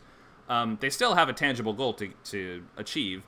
The main character, who, who's happiness, she gets like uh, mm, trapped or separated. She gets like separated from the control room where she's supposed to be to control the girl's body, and she has to make her way back. And that just gives us a really simple goal for the movie. This character needs to get back to this place. So, is the, if this is taking place in a kind of fantasy soul kind of afterlife landscape, then maybe your character has some kind of physical place he needs to get to in order to like be born, or maybe he has to. I don't know. Um, maybe he's on Earth and the sort of afterlife ghost cops are after him, and he has to find a way to outwit and avoid them, and that's how he's going to accomplish his goal. Maybe like an antagonist would help. Um, maybe a uh, sense of the central relationship would help. Like your main character needs to team up with another soul in order to both get to their own, you know, bodies or m- mothers that they want to be born to. Something like that. I think we're just looking for more of a sense of a an achievable finish line. just before life, not after life. Right. Exactly. It can be good, good title before life for the movie. Yeah, pre-life, uh, before life, whatever we call it. Um, this is, I think there's a, there's some religions at least that suggest that it's the same place, right? It's like we're all this. It's like the world of the non-living and the world of the, the living, I, I guess, right? Mhm. But every re- religion has its own version of this, and every you know, many people have spiritual beliefs that are some some different vari- variant of this. So it's it's something anyone can understand, um, which is nice, and it sort of fits into almost any religious belief, which is cool. Um, I would just try to focus this a little more. Um, we can't really say it's a remarkable story in the logline. That's kind of the audience's opinion, not our opinion. So we have to Okay. just frame it in terms of It's what a story. well, we don't even need to say it's, we know it's a story. We don't even need to say it's a story. So frame it in terms of like when this happens, when X occurs, A, and then maybe pick some word to describe the boy. Like, why is this the right boy for this journey? Is and I don't exactly know what the answer to that is because if you're saying he's a soul that has not even developed yet, then like I don't know if he even really has a personality or whatever. But why is this the ideal mother? What what determines that? Like, why is this the one goal that he has? Um, and we to have th- to to add that kind of focus might just make us start to be able to envision the character a little more. Uh, that- actually, the a log line on my uh, book uh, is like, "Who said we can't choose our parents?" Hmm. Okay. mark. But on what criteria are they choosing?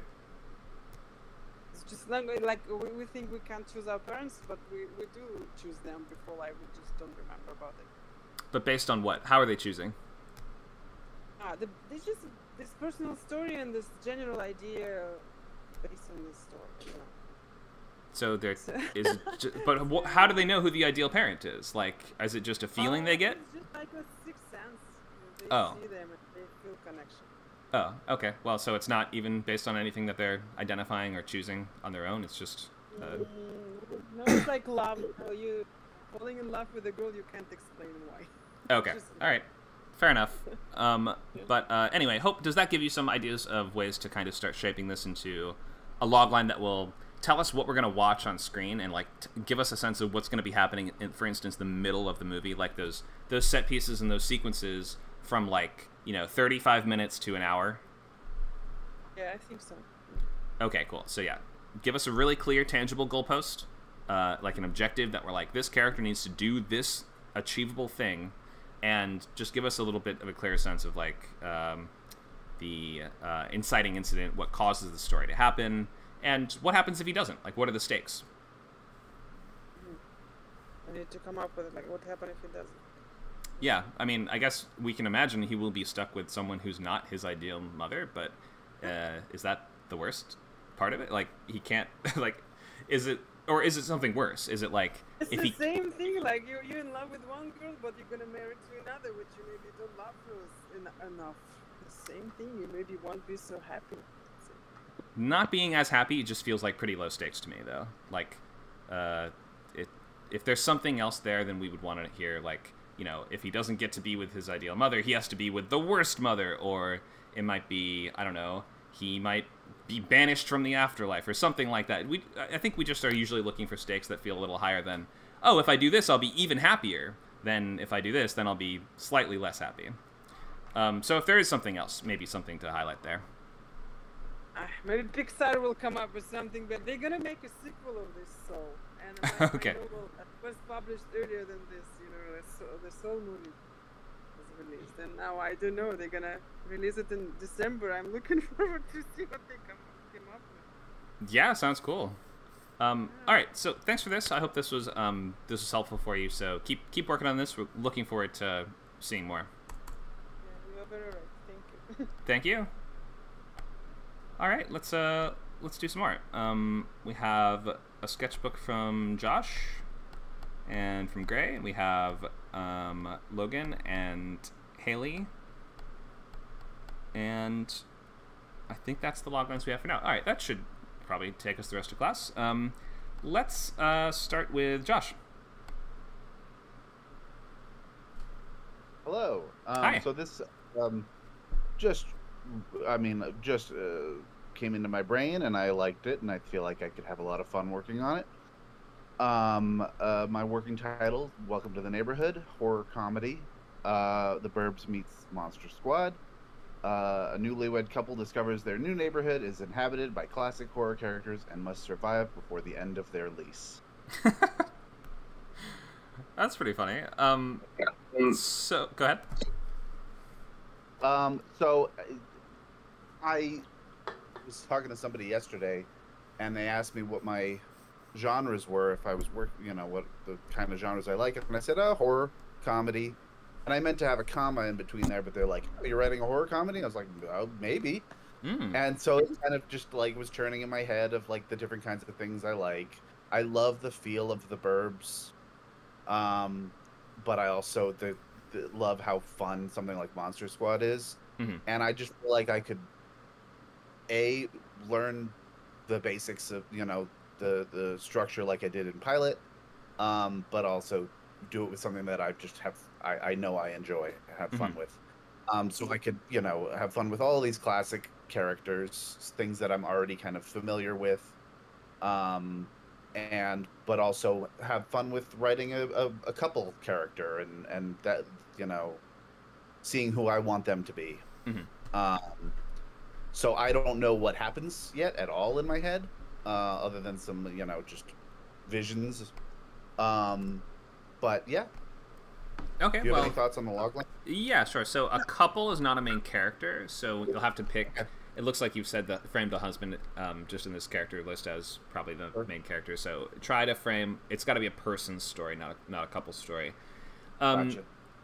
and they discover their new neighborhood is inhabited by classic horror characters and must survive before the end of the lease. So they're the, these horror characters are trying to kill them. Yeah, uh, in in the same kind of way that like in the Burbs, it's kind of clear to the audience and to Tom Hanks from the beginning that things are not kosher, um, and by the end of it, you know, the whole neighborhood is involved. His wife is involved, um, and that while maybe it seems like these are just weirdos it then turns out that you know no these are really like that that's that is dracula that is you know there's there is a monster in one of these houses and so on and so forth and so yeah they're trying to kill them And so when you say that it's inhabited by these characters, do you mean they are living as normal in- people? yeah They are. Okay. So they're all in disguise basically or is it like Munster style where they just look like Frankensteins and stuff just walking I around? think, it's in, I think it's in disguise Okay. Um even the mummy? the mummy uh, well, I guess well you know some of the, some of these characters it'll be more of like a well you know what's in that house you Uh-huh. know kind of a thing Okay. Um and they're trying to kill the main characters why? i don't know because that's their nature Hmm. Um, I mean, I my main antagonist is Dracula, Mhm. and Dracula's main, you know, goal is sucking the blood of the living and so Right. on and so forth.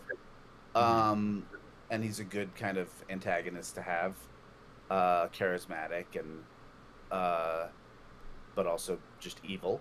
Mhm. Um, so it may be a situation where uh, it's just Dracula who's trying to kill them, and the, there's all these other characters. Because you know, th- you know, Frankenstein's monster isn't inherently evil, so Right. on and so forth.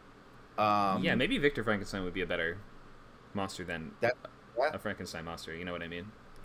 yeah, that's not that's not a bad idea. Because then you could also Uh, have oh maybe he is helping cover up all of the other monsters' antics. He if you have like a sort of mastermind or somebody who made some of the other monsters or something like that could sort of start to make sense as to like they're organized, right? You're saying they're like a team of monsters. They're like I- all on the same side, helping each other hide and blend in. I yeah, I my idea, my my vision of it was that it was like a gated community. Oh, okay, that's a good way to take it. Yeah. So in that case, you're, the angle you probably want to go is they're trying to get rid of the humans because they weren't meant to be here, or they this is meant to be monsters only, right? Yeah, or or they're they lure, you know, people in, regular people in. Um, That's good too. True. I would I'd write that down. like, like the okay, uh, I'll write it right now. Uh, lo- They just have like a bait house. people in, yeah, uh, with what seems to be, uh, you, you know, a, a perfect place to live. You know. hmm But they're just Uh, grooming them to be victims or servants. Exactly. Like Okay. like uh like the movie Duplex with Ben Stiller and Drew Barrymore where they're like they finally find this amazing place but the the weird old lady lives upstairs and she's obnoxious and maybe she's trying to kill them and Mhm. um, something like that where they finally find this beautiful place and they've been searching and searching and searching and then this this perfect place drops in their lap too good to be true yeah. Honey, I got this great deal in this amazing place in a country club. I mean, yeah, they asked for our blood samples before we go there, but like whatever, it was so cheap. exactly Um, yeah this is good. I mean, there's something here. When you start talking about the gated community angle, I'm starting to see the movie more. Because as it, okay. based on the logline, I'm having trouble seeing. Uh, that's why I'm asking so many questions. Just like help me, help me see Yeah. it, help me see it.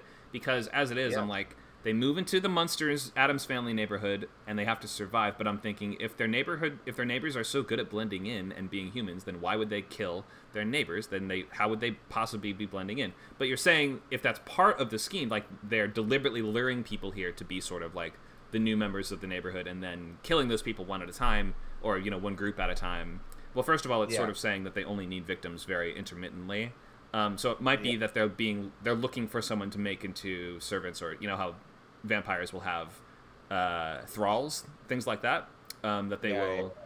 they mean for them to do the tr- they want they want new igors basically um, and Yeah. if they get out of line then they'll be eaten and there's a bunch of other igors in the town oh that could be a good that could be nice to realize as well E- all the other people they've met in the town are the previous residents of that really nice house that all were Sure. lured in in the same way and now they all have to serve the monsters yeah i had this idea of of an igor type character being like the security guard hmm that's pretty funny uh, or yeah we'd think they'd have a bunch if they've been doing this for a while this is not their first uh, exactly rodeo.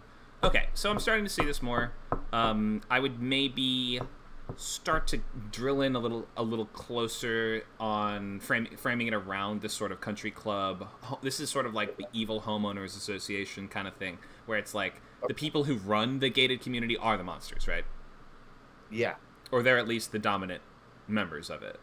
Um, I, I see that a little more. Try to frame the logline a little bit around that. You might call this movie might be called like I don't know, uh, HOA or something like that. If you're sort of like, well, what's I wonder what the secret is with the evil H. You know, the isn't that what it's called? The group that that drives around and they're like, your lawn is too long. You have to mow it. You can't plant oh yeah yeah yeah these flowers or they just are super really annoying about the country club stuff um, maybe that's who it is and it's like who are those mysterious people and why are they only ever out at night kind of thing. Um, but uh, i think there is a lot of potential in this idea and this sounds pretty funny. It's it's when you first gave me the logline it sounded much more just like a comedy. And i was seeing Yeah. okay this is just a comedy with horror scenery and characters and like a spookity tone. But if you phrase it like we have just moved into this new place and now all our new neighbors have a secret now we have to and like even the people we meet at the grocery store seem like they're up to something and like we start Yeah. we're slowly unraveling what's going on here and they start to realize we're in the middle of a web like hereditary style like we're in the middle of this trap um, and we're being you know they're closing in and th- i could start to see that as more of a horror type tone so maybe just pick which tone you want to go with and like emphasize that a little more. If you want to go with mostly comedy, then it could be like, I don't know, the monsters have a book club, and now the book club makes the rules in this town, and they're going to kill you if you don't Yeah. follow them. Or it might be like a little bit more, we're piecing together the mystery of what's wrong with this neighborhood. Yeah, I I would I you know in thinking about how I would tie this up, I really like how Beetlejuice ends Mhm. with them living with the ghosts and with you know with all this stuff and the all you know it's just they've just now integrated. Mhm. Uh, so that's some you know something that is just in my head of, of maybe that's where I go to with this in making it more of a comedy. hmm Yeah, I love Beetlejuice, so um, uh, I, I think that's a, a great ending as well. So you can find some way for it to not be one group eradicates the other group. If you can think of Yeah. what's option C, what's option D, you know, um, maybe it's they become the new Lord of Vampire. They kill Dracula, they become the new heads of the Monster Club, whatever Yeah. it is, you know. Some, think of option C. Okay. Um, but fun stuff here. I like the basics of this. Any questions? No, I think uh, thank you for your feedback. I appreciate it. Sure. Um, and looks like Nacho has linked you a, a pilot called Carriage Hill and Them, which both are somewhat similar territory and might be worth studying. Um, thanks for that, Nacho. Yeah, I, I you. watched Them was on Amazon, and Hill I actually don't know if that was on TV, but that's at least a script. Um, all right, let's look at some more. We have half an hour left. Thank you all so far for um, participating in this. I want to pause and just see if we have any questions so far based on anything that you guys have seen or heard. or that we've discussed, or based on just we want to know what makes a good logline, anything like this. Any questions?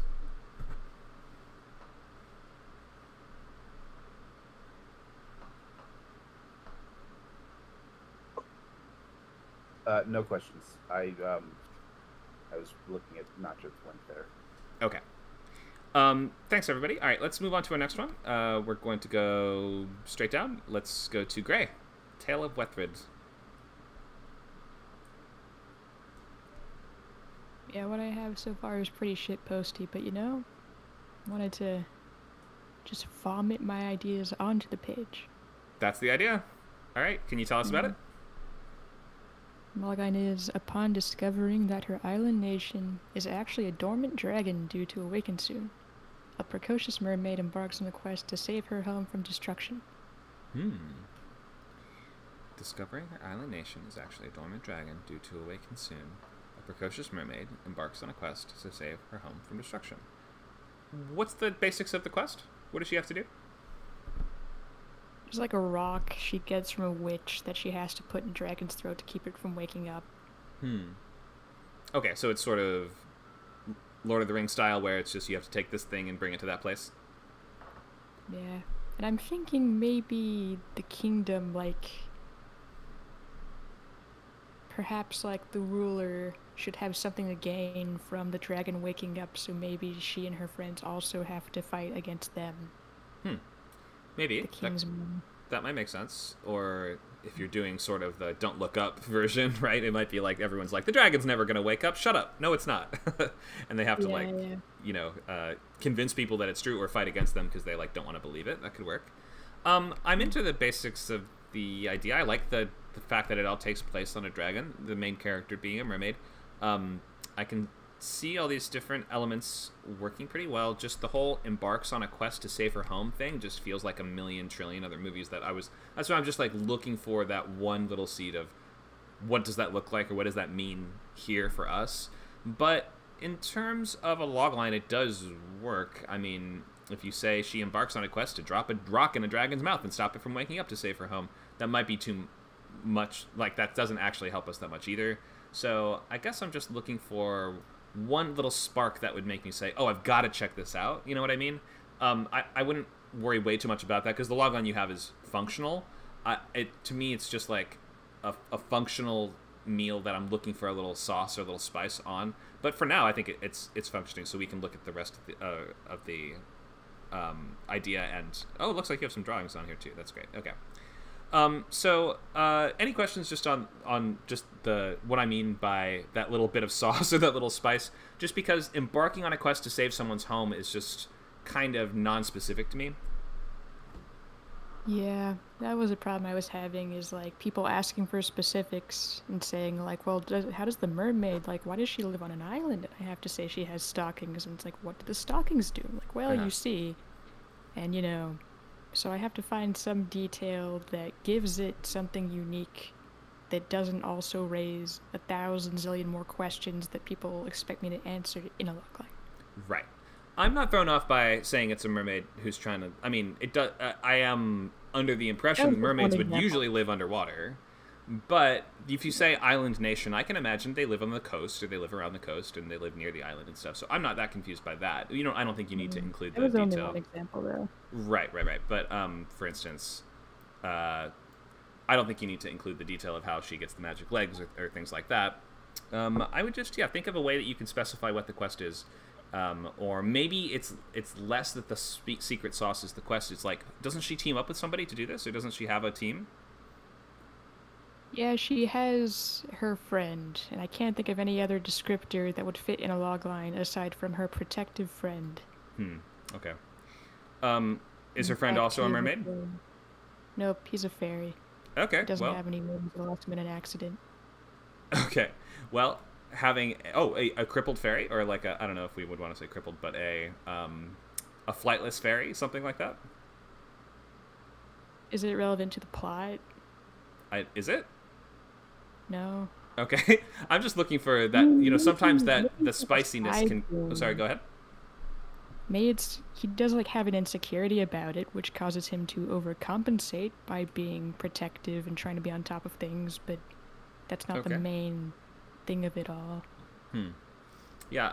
Um, so the the sort of this last element, this sort of like spicy sauce or whatever, it can come in many different forms. Sometimes it is this partnership or central relationship, but often only if that implies some kind of conflict between, between them. It's like you know, a werewolf has to team up with a vampire because they're at war, and that's the conflict there, and that's that's why it's interesting that they have to work together to do this larger goal. If there's no actual sort of irony behind a mermaid teaming up with a fairy, then maybe you might not need that. If it's like the I guess we're looking for a point of conflict between the characters if, if you're going to use that as that central point of interest. But I, I wouldn't worry way too much about that. The logline you have is okay. I, I would just continue to develop this and see where it kind of lands and, and be thinking along the way. Is there some way that I can just specify or clarify what the quest is in a way that makes it feel like, oh, I've got to check that out? Like, why would fantasy readers who have read a million stories about people going on quests to save their home, why would they pick this one? hmm Um, And there is a little bit of an internal conflict uh, where all of their lives, like they've known each other, they're both orphans, and he has always been very protective of her. And part of her arc is um, becoming a braver person. It's as basic as it gets, but that's something. Okay. Is that um but but we would expect a character that has to go on a dangerous especially a young person goes on a dangerous journey would have to become braver to accomplish it, right? Unless they were already super brave to begin with. Yeah. And she um becomes less dependent on him. And he doesn't like it at first or like yeah, throughout the movie. But then at the climax he does something like lets her go and finish like, you know, the quest even though it's crazy dangerous. Mhm. Because like they've realized that yeah, I am capable on my own. And even Okay. though we're best friends, like it's okay to take a risk Hmm. for the greater good. I would probably mention the central relationship in the logline, I'm thinking. If it sounds like that's a really key component to how the story works. Is it okay to have such a basic descriptor as protective friend? Or- I think there's probably something else you can suggest that might catch people's interest a little more. Um, but if you can't think of anything else, then I, I would just throw it on there for now. I think it just sounds like this is a like a central team up that is key to the whole thing. Mhm. So that's my feedback for now. The rest of it sounds like pretty. It's all pretty good stuff, and like I, I think that we would really see this shine in the execution. This is not a this is not a high concept story, um, but that's okay. It doesn't absolutely have to be. But then just uh, just think how how would I get someone excited to check this out? How would I get someone to say of all the things like this that I could read, I'm gonna go with that one. Yeah. All right, Well, thanks, thank Gray. I'll work on the log line. Sounds good. Some folks in the chat might have had some ideas for you as well. Um, yeah, there's some. So scroll up a little bit in the chat and you'll see some suggestions, Gray. All right, um, thank you for that. Let's uh, move right along and we'll go to Logan.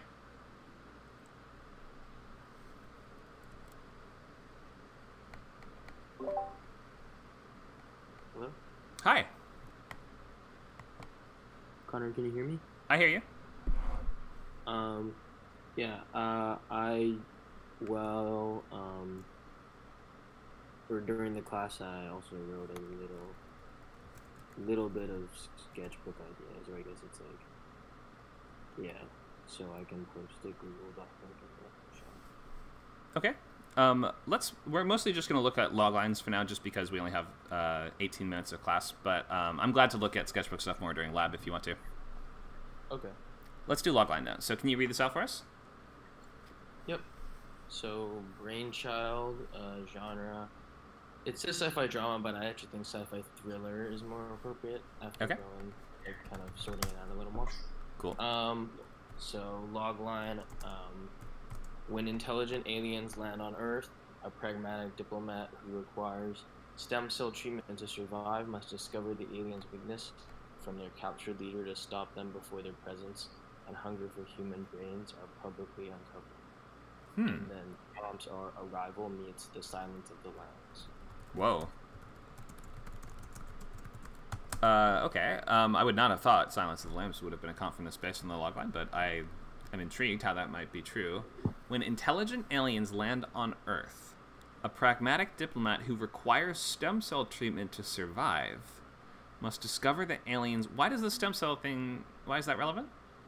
Um, it kind of gives him a sympathy for like the otherwise, um, literally alien motivation of the aliens that they need to consume human brains because it's like he has something that he relies on that is kind of in some circles looked down upon by society. Like he Hmm. needs it to be alive, and they need to consume human brains, which of course human society is like, no, we don't want anything that needs to consume human brains to be alive, really. Um, right. Okay. This just seems like a character that- detail. I would I would leave out of a logline. Okay.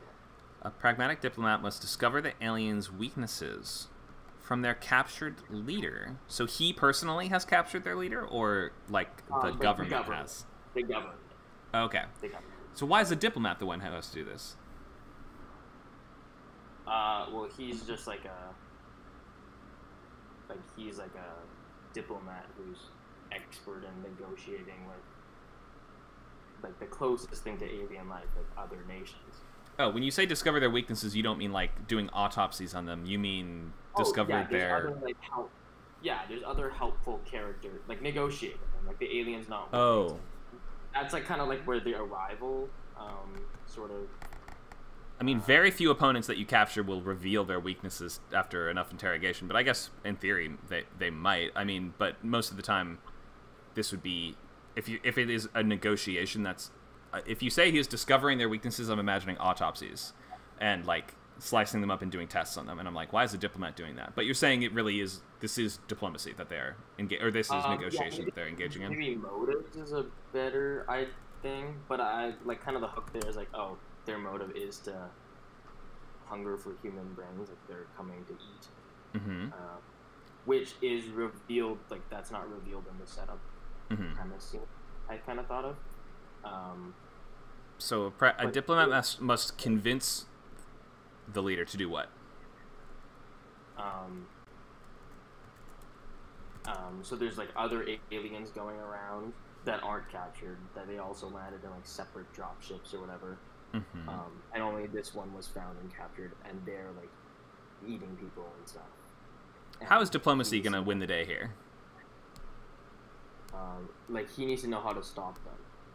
And the Brady and the aliens will tell him how to stop them? Um, yeah, so he can, in exchange for food. In exchange for food. Otherwise- he's gonna die. But I guess I'm not seeing this as it's something that. A, is this this is like a series of. Are they torturing? They're, they're torturing the aliens? Is that what you're saying? This is like essentially a, a series of interrogations in which they're trying to. I'm just struggling to see what. Inf- like if they if they if let's say Russia captures the top American general, and they're like, now that we have you in captivity, tell us how to beat the U.S. What would that top general even say? Nuke us? I don't know. Like, uh, uh, I'm. Uh, how is this setup working so that we have someone in Well, captivity who, if he just tells us the right thing, then um, we can kill them all?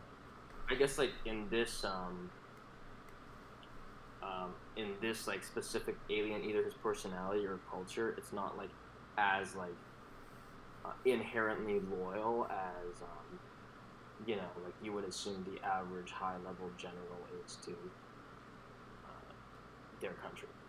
Like mo- I would assume most of them by default would die for their country instead of revealing information. But why are we so convinced there's one thing that we could learn that would help us beat them? Um, well, at the beginning, it's more just like, oh, why are you here? What are you doing here? Eating brains, okay. Yeah. But so is it like is there, this is what I'm thinking. So I think you need something that's really clear that this interrogation or this whatever I, basically is an interrogation if you're doing Silence of the Lamb style, right? Um, Yeah. I think we're looking for something that they an answer they would be able to give us to some clear question. It's like the aliens can't die. We don't know how to even kill them. You know what I mean? So like or it could, might be they have impenetrable force fields, Yeah. and, and we just kn- need to know how to disable the force field around their main base. Something tangible, you see what I mean? That can that we understand. Okay, this is a secret that he could indeed learn. Because if it's just a war between, I don't know, the, the, the general would be like, shoot us with guns? What do you mean? Like, win the war, outmaneuver us on the battlefield, and shoot us. Uh, there's no trick to it. I think there needs to be some kind of trick to it for us to understand the logline.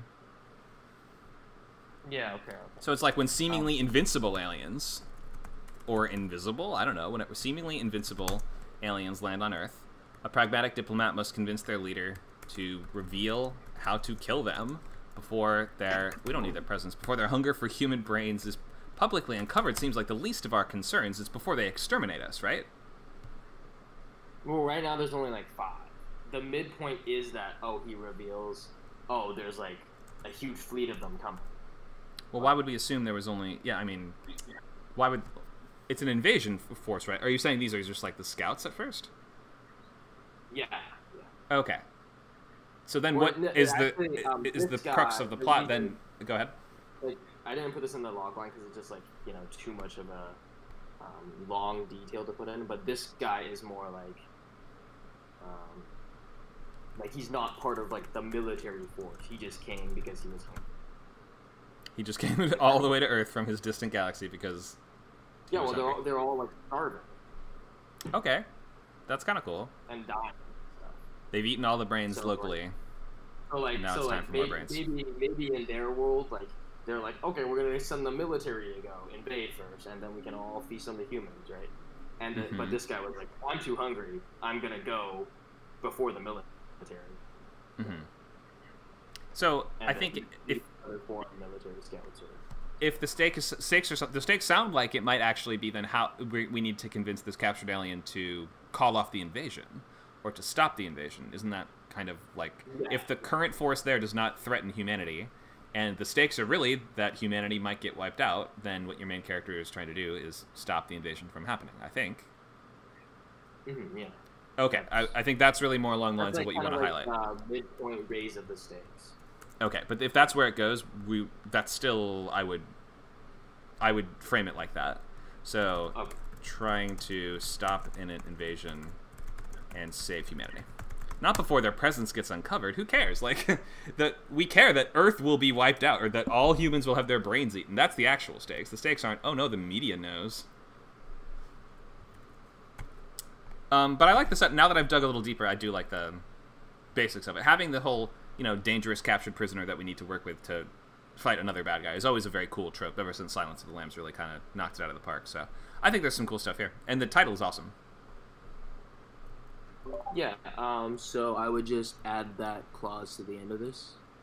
Uh, yeah, and also maybe clarify like the thing I said. If they're if it seems like they're invincible, or if there's just some secret, there's some trick to beating them. You're gonna want to highlight what is that thing that we're missing. Why can't we just beat them? Why can't we just shoot them with nukes and have that be like? Why do we need to do this interrogation? Yeah, I think it's also like just a pretty um, like it seemed like it would be a fun premise scene if there's like you know we take everything that is meant to exterminate humans, guns, uh, acid, whatever, all the stuff that we think oh humans this just destroys humans and just none of it works against the aliens because they're obviously just so physiologically different Sure. and like yeah that's kind of like a common thing seen in like monster movies as well. Right? Yeah, bullets just make them stronger. Whatever it is. Um, so yeah, uh, that's my advice for that one. We're gonna move on just for time, but um, nice stuff there. Keep keep working on this. Try to just clarify this one a little bit and make sure that we understand what are the stakes and why are we doing this. Yeah, right. Thank you. Thank you.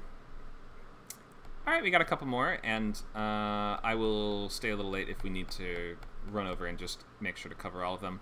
Nacho also has a comment for you in the chat, Logan. Um, all right, let's go through our last. It looks like two or maybe three of these. We have Haley with a musical. Oh, great! We have uh, no one writes musicals on here, even though I taught a whole musical class. So about time. Did you? Yeah. Where where I do you have a video for that? Because I would love it. Because I really want to yeah. write this as a musical. We have a great video of it. I'll link it to you after. Thank you so much. Okay, so right now, working title A Little Witchy. It's a feature family musical. Um, a single mom of three little witches accidentally moves into a hyper controlled uniform community, which, upon discovering their magical abilities, tries to force them from town. Hmm. Okay. And so this is this is kind of a mashup of like the movie Practical Magic, Newsies, Disney Zombies, I really um I wanted to actually. Uh, sorry, go ahead. What are your thoughts? oh, um, no, you can clarify a little more. I'm still reading it. I'm still like uh, getting it into my head. Okay. Okay. A single mom of three little witches accidentally moves into a hyper controlled and uniform community, which, upon discovering their magical abilities, tries to force them from town. Okay. So it's like, um, this, uh, they move into. Is this a world where everyone knows about magic and stuff? Um, yes, and I, I originally, I originally thought about this as like a religious community, like, and but I don't know if it necessarily needs to be. It's just a this is like a no magic zone. This is where the community has decided, no, like magic is bad. We don't do that here. You're not, a- you know, we don't want your type here, kind of thing. But through the course of the the movie and the you know the musical, it's it's people are recognizing that there's magic all around them. And then Hmm. just because they're choosing not to see it doesn't mean it's not there. And then actually that it's not just magic but it's it's kind of a the female uh, and through it it's like magic it becomes more people who start seeing it more because they are becoming more aware of it. And then also that they're recognizing that it's it's um, like the female magic that's actually been really suppressed. And so the the females of the town kind of unite at the end to um, go against kind of the patriarchal control that's been over the town. And they all get to be witches too, or do, can someone can No, anyone learn to be a witch, or is it like blood yeah. based, or so it? and actually the whole yeah. So actually, what the my thought process is is that the in this particular family, you know, it they they call it being a witch, but in it's actually the same elements are basically in every religion. Mm-hmm. Um, they're just called different things, and they're so that's what I kind of wanted to. Oh shoot! I just stepped on my cat. I'm sorry. Oh no. Um, I want to highlight that in that. Okay, but you just call it something else, like Mhm.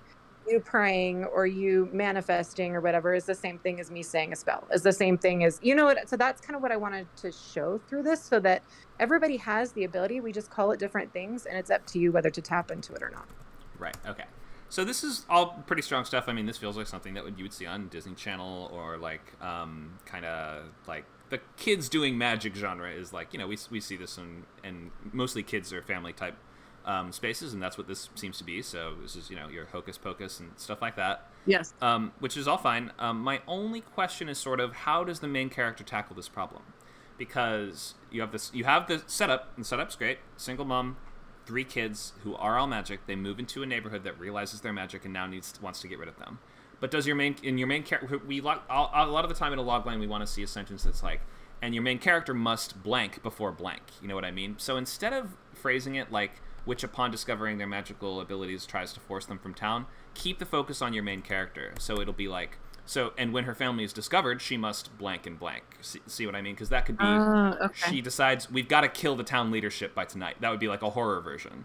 Or it could be Right. we need to organize a big uh, performance to show off our magic to the world, and that might be kind of like a musical version. Or it might be, you know, just think of like, do they start a club for magical kids after school? Like, what is it that the main character does to solve specifically to try to solve this problem? You don't have to get into tons of detail, but we just want to know like what is what are we going to be watching them do to solve this? Because right now I'm just imagining they go to school, people are like bullying the kids, the kids fight back against the bullies with magic, the, they get in trouble, the, a mob surrounds the house. Like, is that what we're doing, or is it going to be more like we decide to uh, create a an after school program called you know Magic for Everybody? Or like how how are they going to address the problem? How is the specifically the main character going to address the problem?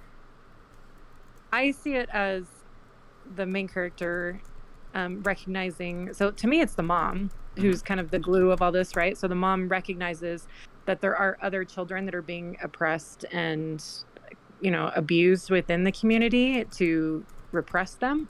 And so she recognizes that it's not just about saving her children or protecting her children, it's about protecting the other children. And so in it becomes this uh, to me, I don't. In the end of Newsies, there's like this moment where all the children unite, Mhm. and then they, you know, and that's what I see that as is like this literal gathering of all of these children and coming to the adults of the community saying, "Do you recognize you're rejecting us?" And so it's that moment of the the adults having to choose between their beliefs and or rejecting their children. Okay, that's great. So she is recognizing other potential magic users in the town who have been have it like had it like beaten out of them or whatever. Right. Um, Mhm. And and as a result, she's trying to get them all in. Like I would, I would think, what does she do to try to convince? I, I was just throwing out suggestions like she starts an after-school program for gifted youngsters. Okay. You know, like a gifted program. Something specific. Yeah, if it was, if th this, the title might be called the Gifted Program, and it's about you know her way of doing this is she's going to try to secretly tutor these magic kids after school. In which case, you might even want to reduce the number of kids she has to just one or something. If it's going to be more about her relationship to these new kids that she's having to convince. Okay. Um, but just just some ideas there, just uh, some ways to add that extra level of specificity and like um, a sense Okay. of what we're going to be watching the characters do because because the basics are there. Now we're looking for the okay, but how does she solve the problem kind of thing. Okay. Thank you. Questions on this? Awesome. Thanks, Haley. Mhm. Okie doke. Um, looks like we have. Is it one more? Marcus?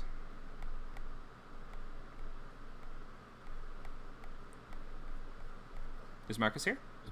Yeah, it's yeah, and it's it's. uh I put two in there. There's one that is the AI robot nanny, um, which I've been working on, and I got behind in the last class, but I'm really far ahead on that. Really far along on that one.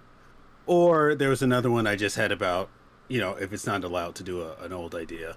This rom com I was thinking about with this um, couple that tries to go back and prevent themselves from ever eat, meeting each other. Um, it's not that you, you can do old ideas. I just recommend people choosing newer ones uh, for the most part. But if you if you which if I can't even say a sentence. If you'd like feedback on this one, I'm glad to give it. I think the robot nanny one sounds awesome. I, I remember you're already giving feedback on this, and this logline is pretty um, streamlined. So I'm I just kind of want to see that. the nanny Okay, who has to. perfect, I love how you phrased it. In it, ha- it's an internal journey, but with such external goalposts and stakes. She has to resolve murderous urges inside of her, inside of her, before she kills the family. Is so clear. So I just love that, and I think that I'm, I'm looking forward to reading that. Um, but maybe I can get feedback on the other one for now. Um, couple things. The reason I don't, I suggest people not doing time travel is because it comes with all kinds of problems, and I can already start to identify a big paradox in the inherent nature of the conflict here. The romantic comedy about a couple who goes back in time to prevent themselves from meeting each other, then why did they go back in time if they prevented that? You know what I mean? Have you seen The Time Machine? The, the movie about the guy trying to prevent, or it's a book, Jules Verne book, but about a guy trying to make a time machine to go back and save his wife from getting killed. And then he finds out no matter what he does, every time he tries to go back and stop it, her getting killed, she dies some other way. And he learns from like this Time Lord guy that explains to him, he's like, you can't go back and stop the thing that made you invent the time machine in the first place, or else you never would have invented the time machine. you know they kind of face that paradox like the third act turn i was thinking that like the the plot point too is they find out throughout the story they end up actually not wanting to break out. Now they're trying to stop their original plan to prevent it- themselves from like getting together. Oh but now they realize if they do get together then only one version of themselves can live. The ones that went back in time to stop it or this new future version because it's kind of been messing up and they keep coming together anyway throughout the whole story. And then it's kind of like spoiler alert at the end the couple that went back in time kind of dies off. They sacrifice themselves for the couple that they've kind of interfered with but is still going together you know and then at the very end they'd wake up together blah blah blah. Okay. but it was a lesson about like working together can bring you together or something like that. Okay, I mean, there's there's some good ideas in there, and yeah, I will just say that's going to be incredibly challenging to pull that script off, um, especially with the because that involves a couple of the different things that I warned against combined into one: time travel, multiple copies of the same characters going around, paradoxes, and like all these things that I would just save this save this one for a little bit, maybe in like a couple more scripts you, you can like keep workshopping it and coming and like streamlining this as much as possible. I think for a, a script camp boot camp though, don't do this one. Okay, yeah. I was even thinking the first question. I was thinking, oh, what, where, where, what era would they go back to? Nineties, two thousands, and already I was thinking, oh, you know, decisions. Yeah, Right. Especially if it's the recent past, then you start to run into stuff like all kinds of things would be like especially if people are time if like it's it's one thing if you're time traveling back to the Sumerian empire then you don't really have to worry about paradox you know for the purposes of the story it's not like you're going to run into your own mom right but for a recent time travel story like primer or something like that the complication will just like you will you will it will make you so it'll drive you crazy to try to keep it straight I believe that. So okay, thank you. but it's it is cool. Like I believe that there somebody could write a great movie like this. I just think for script camp, I want to see Robot Nanny. there we go. Robot nanny. It is okay. okay. Um, thanks, Marcus. Hope that's helpful for now. Alrighty, um, that is going to be the end of our class for today. Um, this was week zero, so if you want to be in more of these and you want to keep working with us and write your whole movie in eight weeks, then sign up for Script Camp at scriptcamp.net slash membership, or you can buy the course on its own if you don't want to be a member, but you should be a member because it comes with a two weeks free trial and unlimited classes of any kind you want, so you should definitely be a member. Um, and then we're going to be meeting at the same time slot for the next eight weeks to write this movie from beginning to end. First half is prep, second half is writing. Every class meeting, you will be taking a, a uh, there will be two hours of lecture and interactive stuff, and then in between classes, you will be working on your outline, then working on your scene cards, then you'll be writing pages like four-ish pages a weekday in order to keep up with the benchmarks of the class. Any last questions before we wrap up?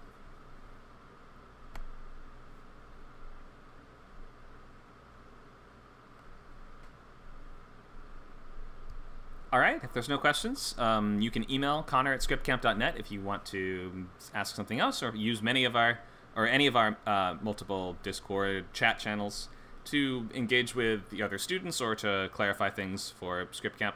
Um, for next week, try to just settle on your idea and work on refining the logline and the story elements that you have, and maybe start to fill out that sketchbook as much as you can.